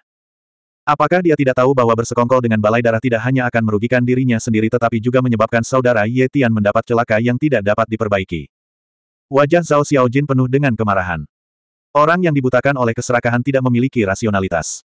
Qin Fei yang menggelengkan kepalanya. Tunggu, Pak Tua Qin, tetua Huo ini berkata bahwa dia tidak akan menunjukkan belas kasihan kepada kita. Jika hanya kita bertiga yang pergi, bukankah rasanya seperti kita sedang mengirim diri kita sendiri ke kematian? Orang gila itu tiba-tiba mengerutkan kening. Qin Fei yang sedikit terkejut dan mengangguk, rasanya seperti kita sedang mengirim diri kita sendiri menuju kematian. Sepertinya kita harus memanggil naga hitam dan Huo Luan. Dengan bantuan mereka, seharusnya tidak akan menjadi masalah besar. Bagaimana dengan mereka? Orang gila bertanya. Aku juga tidak tahu. Kita harus mencarinya. Qin Fei yang menggelengkan kepalanya. Berdengung. Sebelum dia selesai berbicara, batu transmisi suara Qin Fei yang tiba-tiba bergetar. Mata Qin Fei yang menunjukkan sedikit kecurigaan. Dia mengeluarkan batu transmisi suara dan sebuah sosok dengan cepat muncul. Li Yuandao. Qin Fei yang sedikit tertegun. Kakak Mo, kamu tidak ada di dalam gua. Melihat Zhao Xiaojin dan si gila di sampingnya, Li Yuandao tidak bisa menahan diri untuk tidak tercengang. Qin Fei yang tersenyum tipis, tidak, aku harus keluar untuk suatu keperluan. Apakah kamu ada urusan? Jika ayahmu ingin mengundangku, tunggu sampai aku kembali. 3209. Ayahku memang mencarimu, tetapi bukan untuk mengundangmu sebagai tamu, melainkan untuk meminta bantuanmu. Ekspresi wajah Li Yuandao dipenuhi dengan ketidakberdayaan. Ada apa? Qin Fei yang curiga. Kau mungkin belum tahu, tapi naga hitam dan luan api di sampingmu telah menyebabkan keributan di kota timur beberapa hari ini. Ayahku tidak punya pilihan selain meminta bantuanmu. Li Yuandao menghela nafas. Apa? Qin Fei yang terkejut. Aku sudah tahu, kamu pasti tidak tahu tentang ini. Li Yuandao menggelengkan kepalanya. Apa yang membuat mereka ribut? Qin Fei yang curiga. Sebenarnya, tidak terlalu ribut. Mereka hanya suka pergi ke restoran untuk minum, dan saat minum, mereka tidak suka diganggu. Jadi, setiap kali mereka pergi ke restoran, mereka akan mengejar orang-orang sampai keluar. Pikirkanlah, restoran adalah tempat untuk berbisnis. Jika mereka membuat keributan seperti itu, bagaimana orang lain bisa berbisnis? Jadi sekarang, semua pemilik restoran mencari ayah saya untuk menyelesaikan masalah ini. Li Yuandao menggelengkan kepalanya. Benarkah begitu? Qin Fei Yang mengangguk menyadari hal itu. Naga hitam dan luan api keduanya berhubungan denganmu, jadi ayahku tidak mungkin menyinggung mereka, jadi dia hanya bisa meminta bantuanmu. Li Yuandao menghela nafas. Lalu, di restoran mana mereka sekarang? Qin Fei yang bertanya. Saya dengar dari ayah saya bahwa mereka ada di restoran Feng Chen. Jawab Li Yuandao. Restoran Feng Chen. Qin Fei Yang dan Zhao Xiaojin tercengang. Bukankah itu rumah bordil terkenal di kota timur? Konflik mereka dengan Feng Wanyun disebabkan oleh restoran Feng Chen ini. Kedua orang ini punya hobi seperti itu. Mulut Qin Fei Yang berkedut. Pokoknya, Kalian harus cepat-cepat menyingkirkan mereka, jangan sampai mereka menimbulkan kemarahan publik. Li Yuandao tersenyum pahit. Baiklah. Kita pergi sekarang. Qin Fei yang mengangguk dan mematikan batu transmisi suara. Dia menatap Matman dengan tak berdaya dan berkata, sepertinya mereka berdua juga bukan orang baik. Jelas sekali. Orang gila itu mengangkat bahunya. Ayo pergi. Bagaimanapun, kita harus melewati ibu kota aliansi. Qin Fei Yang menggelengkan kepalanya dan tersenyum. Restoran Feng Chen. Pada saat ini, semua tamu, termasuk pemilik rumah bordil dan para pelayan, berdiri di luar pintu, wajah mereka penuh dengan kemarahan. Di dalam aula utama restoran, ada seekor naga hitam sepanjang satu meter dan seekor burung mirip ayam jantan duduk di kursi. Ada sekelompok wanita di sekitar mereka, dan mereka semua adalah wanita bulan angin dari paviliun debu angin. Pada saat ini, semua wanita mengelilingi naga hitam dan anak ayam itu, sesekali memberi mereka sepotong buah atau memegang gelas anggur di mulut mereka. Mereka tampak seperti melayani dua tuan. Tanpa diragukan lagi. Kedua binatang itu adalah naga hitam dan luan api. Mo Yuan. Penjaga rumah bordil itu memandang Qin Fei yang seolah-olah dia telah melihat penyelamatnya. Yang lain akhirnya menghela napas lega. Tokoh utama akhirnya tiba. Set. Qin Fei yang memberi isyarat agar orang-orang itu diam, lalu berjalan ke aula utama tanpa bersuara. Naga hitam dan luan api itu sedang bersenang-senang. Mereka sama sekali tidak menyadari kehadiran Qin Fei Yang. Para wanita menyadarinya, tetapi atas petunjuk Qin Fei Yang, mereka tidak bersuara. Qin Fei Yang berjalan mendekat, melihat mereka duduk di kursi dengan ekspresi puas, wajahnya tak dapat menahan diri untuk tidak menjadi gelap. Tuan Burung, Tuan Naga, apakah kalian ingin aku memijat bahu dan kaki kalian? Qin Fei Yang bertanya. Tentu. Kedua binatang itu menjawab tanpa ragu. Namun, begitu mereka selesai berbicara, mereka menyadari ada yang salah. Suara ini, Langsung. Kedua binatang itu gemetar dan berdiri untuk melihat Qin Fei Yang. Kalian berdua tahu cara bersenang-senang. Qin Fei Yang tertawa. Tidak, tidak. Naga hitam itu buru-buru melambaikan cakarnya dan tertawa kering, itu. Apakah kamu juga ingin minum? Datanglah ke pamanmu yang kedua. Urat-urat Qin Fei yang menonjol, dan langsung memukul kepala kedua binatang buas itu, dan berkata dengan marah, lihatlah kalian sekarang, apa bedanya kalian dan para playboy manusia itu. Ini. Batuk-batuk. Bro, Beri aku sedikit wajah. Naga hitam itu tertawa canggung. Kamu masih tahu cara menyelamatkan muka.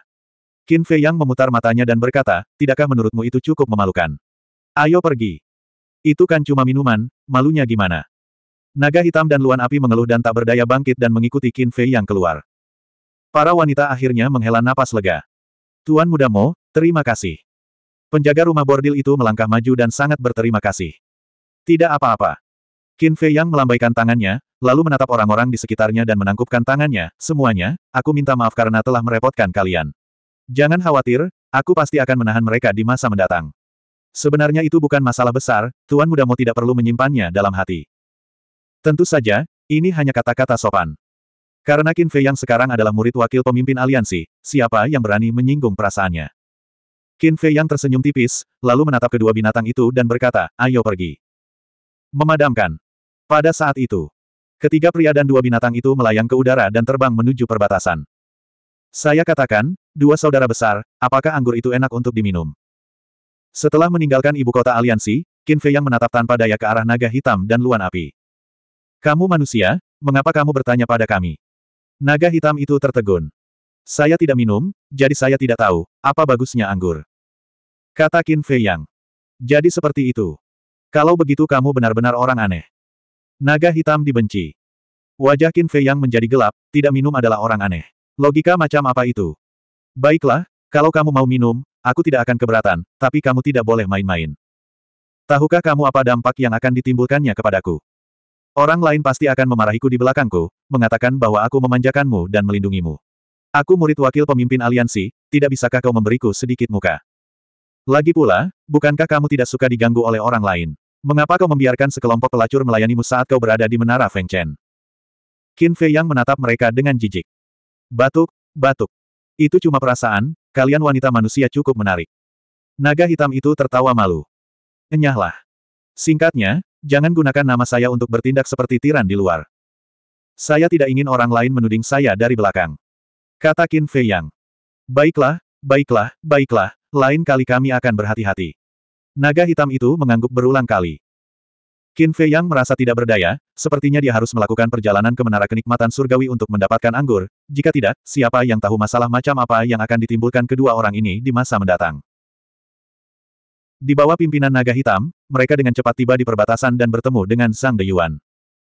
Ketika dia melihat Qin Fei Yang lagi, Zhang Deyuan seperti seorang istri kecil yang telah dianiaya, menyebabkan Qin Fei Yang merinding di sekujur tubuhnya. Bukankah dia baru saja memintanya untuk menjaga penghalang? Apakah ada kebutuhan untuk diperlakukan tidak adil seperti itu? Kota Cloudsea. Selalu ramai seperti biasanya. Karena alasannya datang adalah untuk menemani Zhao Xiaojin pulang guna memberi penghormatan, wajar saja dia harus melakukan perjalanan ke keluarga Zhao. Di depan gerbang keluarga Zhao, Zhao Xiaojin, Qin Fei Yang, dan naga hitam muncul dari udara tipis. Adapun Sigila dan Huo Luan, Qin Fei Yang mengirim mereka ke menara kenikmatan surgawi. Menara kenikmatan surgawi tidak hanya memproduksi minuman keras abadi mereka sendiri, tetapi mereka juga memiliki embun gunung surgawi dan anggur berkualitas lainnya yang pasti akan memuaskan Huo Luan dan naga hitam. Nona muda. Para penjaga di gerbang keluarga Zhao tercengang ketika mereka melihat Zhao Xiaojin tiba-tiba kembali. Apa? Apakah saya tidak diterima? Zhao Xiaojin berkata dengan ekspresi dingin. Selamat datang, selamat datang. Nona muda, silakan masuk. Para penjaga mengangguk berulang kali. Saat memasuki rumah Zhao, Qin Fei yang menyadari dengan jelas bahwa jumlah pengawal dan pelayan di rumah Zhao telah berkurang, dan semuanya memasang ekspresi khawatir. Selain itu, keluarga Zhao yang dulu megah kini tertutup daun-daun layu, dan rumput liar tumbuh dari celah-celah batu. Jelaslah bahwa rumput liar itu sudah lama tidak dibersihkan. Tetapi ketika mereka melihat Zhao Xiaojin kembali, secercah harapan menyala di mata para pengawal dan pelayan keluarga Zhao. Sepupu. Segera. Seorang pemuda berusia 20-an berlari mendekat dengan beberapa pelayan mengikuti di belakangnya. Siapa namamu? Zhao Xiaojin tercengang. Sepupu, kamu akhirnya kembali. Zhao Feng sangat gembira. Salam, Nona muda. Kelompok pelayan juga sangat gembira. Dia adalah Qin Fei yang bingung. Dia salah satu putra pamanku. Namanya Zhao Feng. Zhao Xiaojin mengirim pesan untuk menjelaskan, lalu dia menatap Zhao Feng dengan dingin dan berkata dengan acuh tak acuh, jangan terlalu banyak berpikir. Aku hanya kembali untuk memberi penghormatan kepada orang tua dan adik laki-lakiku. Setelah mengatakan itu, dia pergi. Sepupu. Ekspresi Zhao Feng membeku saat dia buru-buru berlutut di tanah dan berseru, Sepupu, tolong selamatkan keluarga Zhao kami. Alis Zhao Xiaojin berkerut. Ayah sudah meninggal, paman kedua sudah meninggal, dan para pengawal dan pelayan sudah melarikan diri. Keluarga Zhao tinggal kurang dari 50 orang. Keluarga Zhao bahkan tidak memiliki satu orang pun yang dapat mengambil keputusan. Jika kamu tidak melakukan apa pun, keluarga Zhao kita akan hancur cepat atau lambat. Zhao Feng memanggil. Itulah yang kamu minta. Zhao Xiaojin berpikir sejenak sebelum berkata dengan acuh tak acuh. Ya, itu semua salah ayahku dan paman kedua, tapi mereka harus membayar harganya. Mo Yuan Yuan ada di sana, dan seseorang bernama Sing San membunuh mereka dengan tangannya sendiri. Dan urat jiwa dan kristal keluarga Zhao kita juga diambil oleh Qin Fei Yang dan si Gilamo. Tapi sekarang, kami tidak membenci siapa pun. Kami hanya berharap Anda dapat kembali dan menghidupkan kembali keluarga Zhao kami. Kata Zhao Feng. Sudah kubilang aku tidak ada sangkut pautnya dengan keluarga Zhao. Sebaiknya kau cari orang lain. Zhao Xiaojin menggelengkan kepalanya. Hal-hal yang telah dilakukan Zhao Yunhai dan Zhao Yuntian telah membuatnya benar-benar menyerah. Jadi, apa pun yang terjadi pada keluarga Zhao, dia tidak akan membantu mereka. Zhao Feng tidak bisa menahan rasa putus asa. Pada saat ini, seorang penjaga bergegas masuk dan memanggil Zhao Feng, Tuan Muda, sesuatu yang besar telah terjadi. Namun sebelum dia sempat menyelesaikan ucapannya, penjaga itu melihat Zhao Xiaojin. Setelah beberapa saat terkejut, dia menjadi gembira dan membungkuk, Salam, Nona Muda. Apa masalahnya? Zhao Xiaojin menatapnya dengan curiga. Seperti ini. Belum lama ini, para penegak Istana Iblis membawa seekor naga api ke alun-alun di pusat kota dan mengumumkan bahwa naga api ini berasal dari aliansi penggarap nakal. Ia masuk tanpa izin ke Istana Iblis dan ditangkap oleh Istana Iblis. Sekarang, ia akan dieksekusi di tempat. Kata penjaga itu buru-buru. Qin Fei Yang dan Zhao Xiaojin saling berpandangan, cahaya tajam bersinar di mata mereka. 3210. Aku akan memilih naga hitam. Qin Fei Yang mengirim pesan. Kalau begitu, berhati-hatilah. Zhao Xiaojin memperingatkan. Baiklah. Qin Fei Yang mengangguk, lalu menoleh ke arah naga hitam dan berkata, kakak naga hitam, ayo berangkat. Dengan lambaian cakarnya, naga hitam segera membawa Qin Fei Yang dan terbang keluar dari keluarga Zhao menuju alun-alun di pusat kota. Naga hitam. Itu adalah binatang ilahi. Baru sekarang anggota keluarga Zhao menyadari keberadaan naga hitam, dan keterkejutan muncul di wajah mereka. Sepupu, aku mohon padamu. Jika kamu tidak peduli dengan keluarga Zhao, keluarga Zhao akan benar-benar tamat. Zhao Feng mulai memohon. Benar sekali, Nona muda. Ini adalah tanah milik keluarga Zhao kita. Jika keluarga Zhao pergi, tanah ini juga akan hilang. Maka orang tuamu, adik laki-lakimu, dan para leluhur yang disemayamkan di balai leluhur semuanya akan menjadi hantu pengembara. Apakah kamu sanggup melihat hal seperti itu terjadi? Para pengawal dan pengikutnya pun berlutut di tanah dan memohon. Pada saat yang sama, di alun-alun di pusat kota. Pada saat ini, ada lautan manusia. Sepuluh pria berbaju besi hitam berdiri di alun-alun. Mereka tinggi dan tegap, dan mereka semua memiliki lambang tengkorak di tubuh mereka. Mereka adalah para penegak Demon Hall. Dan budidaya mereka tidak lemah. Sembilan di antaranya merupakan dewa tahap akhir, dan pemimpinnya merupakan dewa yang telah disempurnakan. Di tengah alun-alun itu terdapat seekor naga api sepanjang 10 meter. Naga itu tidak terluka, tetapi ada lubang berdarah di lautan energinya. Jelas bahwa lautan energinya telah lumpuh. Naga api adalah binatang ilahi. Apakah balai iblis bersedia membunuhnya? Jadi kenapa kalau itu binatang suci? Siapakah yang menyuruhnya berasal dari aliansi penggarap pengembara? Jika aliansi penggarap pengembara berani menerobos masuk ke aula iblis, bukankah itu sama saja dengan mencari kematian? Semua orang sedang mengobrol. Pemimpin pasukan itu menatap ke langit, lalu ke pria berbaju besi hitam di sebelahnya dan berteriak, lakukan. Ya. Pria berbaju hitam itu menjawab dengan hormat dan mengeluarkan San Madao. Panjangnya lebih dari 4 meter dan bersinar dengan cahaya dingin. Pedang itu sangat tajam. Ini juga merupakan artefak dewa yang menentang surga tingkat puncak. Memotong. Pemimpin para penegak itu meraung, dan lelaki berbaju besi hitam itu segera mengangkat San Madaonya dan menebas ke arah kepala naga api. Ekspresi lemah naga api dipenuhi dengan keputusasaan. Tapi pada saat ini, ledakan. Aura dewa yang mengerikan melonjak dan pria berbaju hitam itu terlempar bersama San Madaonya. Apa? Seseorang benar-benar berani menghalangi para penegak balai iblis. Semua orang terkejut. Naga api juga tertegun. Suara mendesing. Detik berikutnya, seorang pria dan seekor naga muncul di depan naga api. Itu kamu. Naga api menatap Qin Fei Yang dengan heran. Ada apa denganmu? Bagaimana bisa jatuh ke tangan istana iblis? Qin Fei Yang mengerutkan kening. Ceritanya panjang. Sang naga api mendesah dan berkata, cepatlah dan bawa aku pergi. Qin Fei Yang mengangguk dan melambaikan tangannya, membawa naga api itu. Mo Feng Yuan. Kau menantang Devil Hall secara terbuka. Kau tahu itu. Pemimpin para penegak hukum itu meraung. Memangnya kenapa kalau aku menantang balai iblis? Qin Fei Yang mengangkat alisnya. Bagus, bagus, bagus. Sudah lama ku dengar kau orang yang sombong. Sekarang setelah aku bertemu denganmu, kau memang pantas dengan reputasimu. Pemimpin para penegak hukum itu tampak sangat muram. Aku sombong. Apa yang bisa kau lakukan padaku? Saudara naga hitam, lumpuhkan mereka. Qin Fei Yang mencibir. Oke. Sang naga hitam terkekeh, dan aura keilahian seorang penguasa yang sempurna menyeruak keluar, memenjarakan sepuluh penegak hukum. Apa? Itu sebenarnya adalah binatang dewa berdaulat yang sudah disempurnakan. Kesepuluh penegak hukum itu merasa ngeri. Pada saat yang sama, sepuluh untai energi naga suci muncul dan melesat ke lautan energi mereka. Teriakan melengking bergema saat lautan energi mereka lumpuh di tempat. Bagus sekali. Bunuh mereka. Naga api meraung. Kita tidak bisa membunuh mereka. Kita tidak mampu menyinggung balai iblis. Cepat manfaatkan kesempatan ini sebelum para ahli mereka datang untuk pergi. Qin Fei yang buru-buru menghentikan naga api, lalu dia mengangguk ke arah naga hitam. Naga hitam pun mengerti, dan segera menyapu Qin Fei Yang dan naga api sebelum melesat keluar kota dan lenyap di antara pegunungan di luar kota. Wuih! Pada saat yang sama ketika Qin Fei Yang dan dua binatang dewa menghilang, sebuah sosok turun dari langit di atas alun-alun, dan itu adalah Penatua Huo. Apa yang sedang terjadi? Penatua Huo mengerutkan kening. Tuanku, ini Mo Feng Yuan. Dia kebetulan berada di kota, dan dia memiliki naga hitam alam berdaulat yang sempurna di sisinya. Dia membuat naga hitam itu melukai kita dengan parah dan menyelamatkan naga api. Pemimpin para penegak hukum itu buru-buru meraung. Kamu bahkan tidak bisa menangani masalah sekecil itu dengan baik.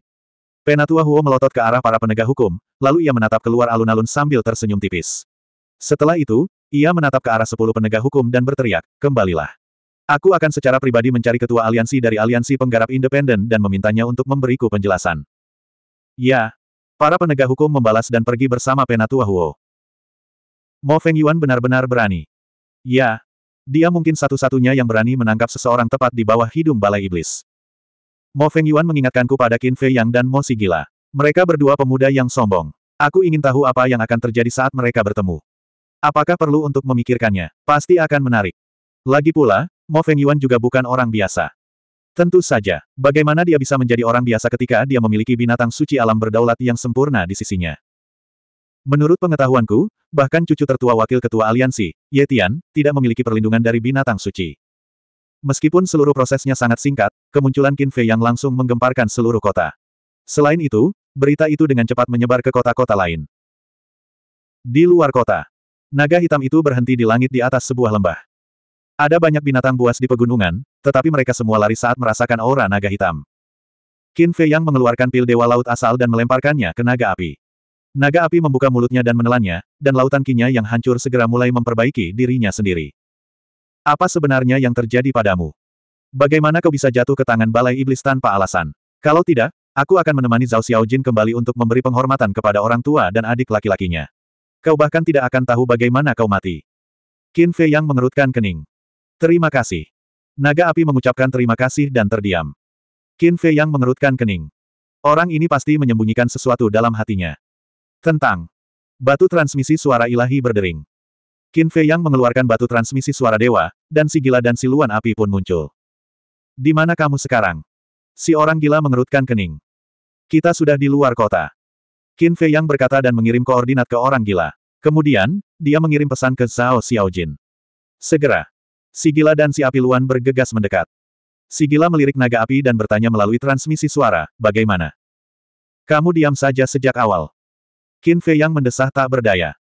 Si gila menatap naga api dan berkata, kembali di tempat persidangan, kami sudah memberitahu kalian identitas kami.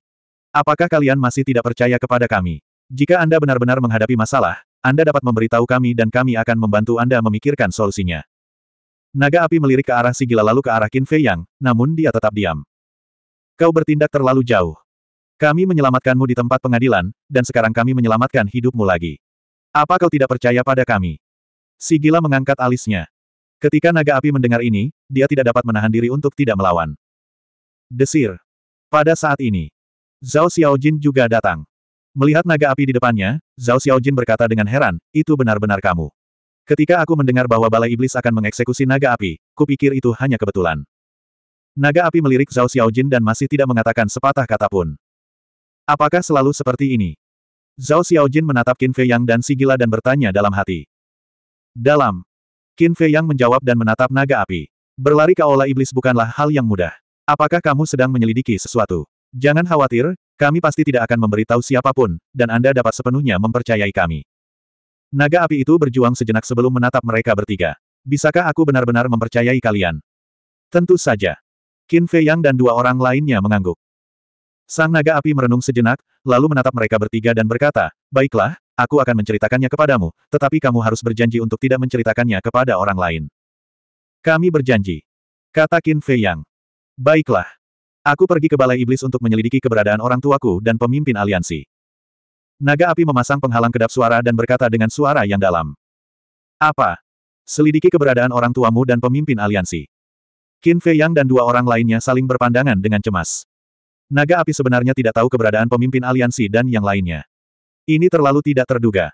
Benar sekali. Seperti yang kau katakan, orang tuaku dan pemimpin aliansi hilang. Sang naga api mendesah. Bagaimana mereka bisa hilang? Saya juga pernah mendengar hal ini dari guru. Qin Fei yang mengerutkan kening. Saya juga belum pernah mendengar guru menyebutkannya. Si gila menggelengkan kepalanya. Wakil pemimpin aliansi dan anggota Hall of Fame. Mereka pun tidak tahu.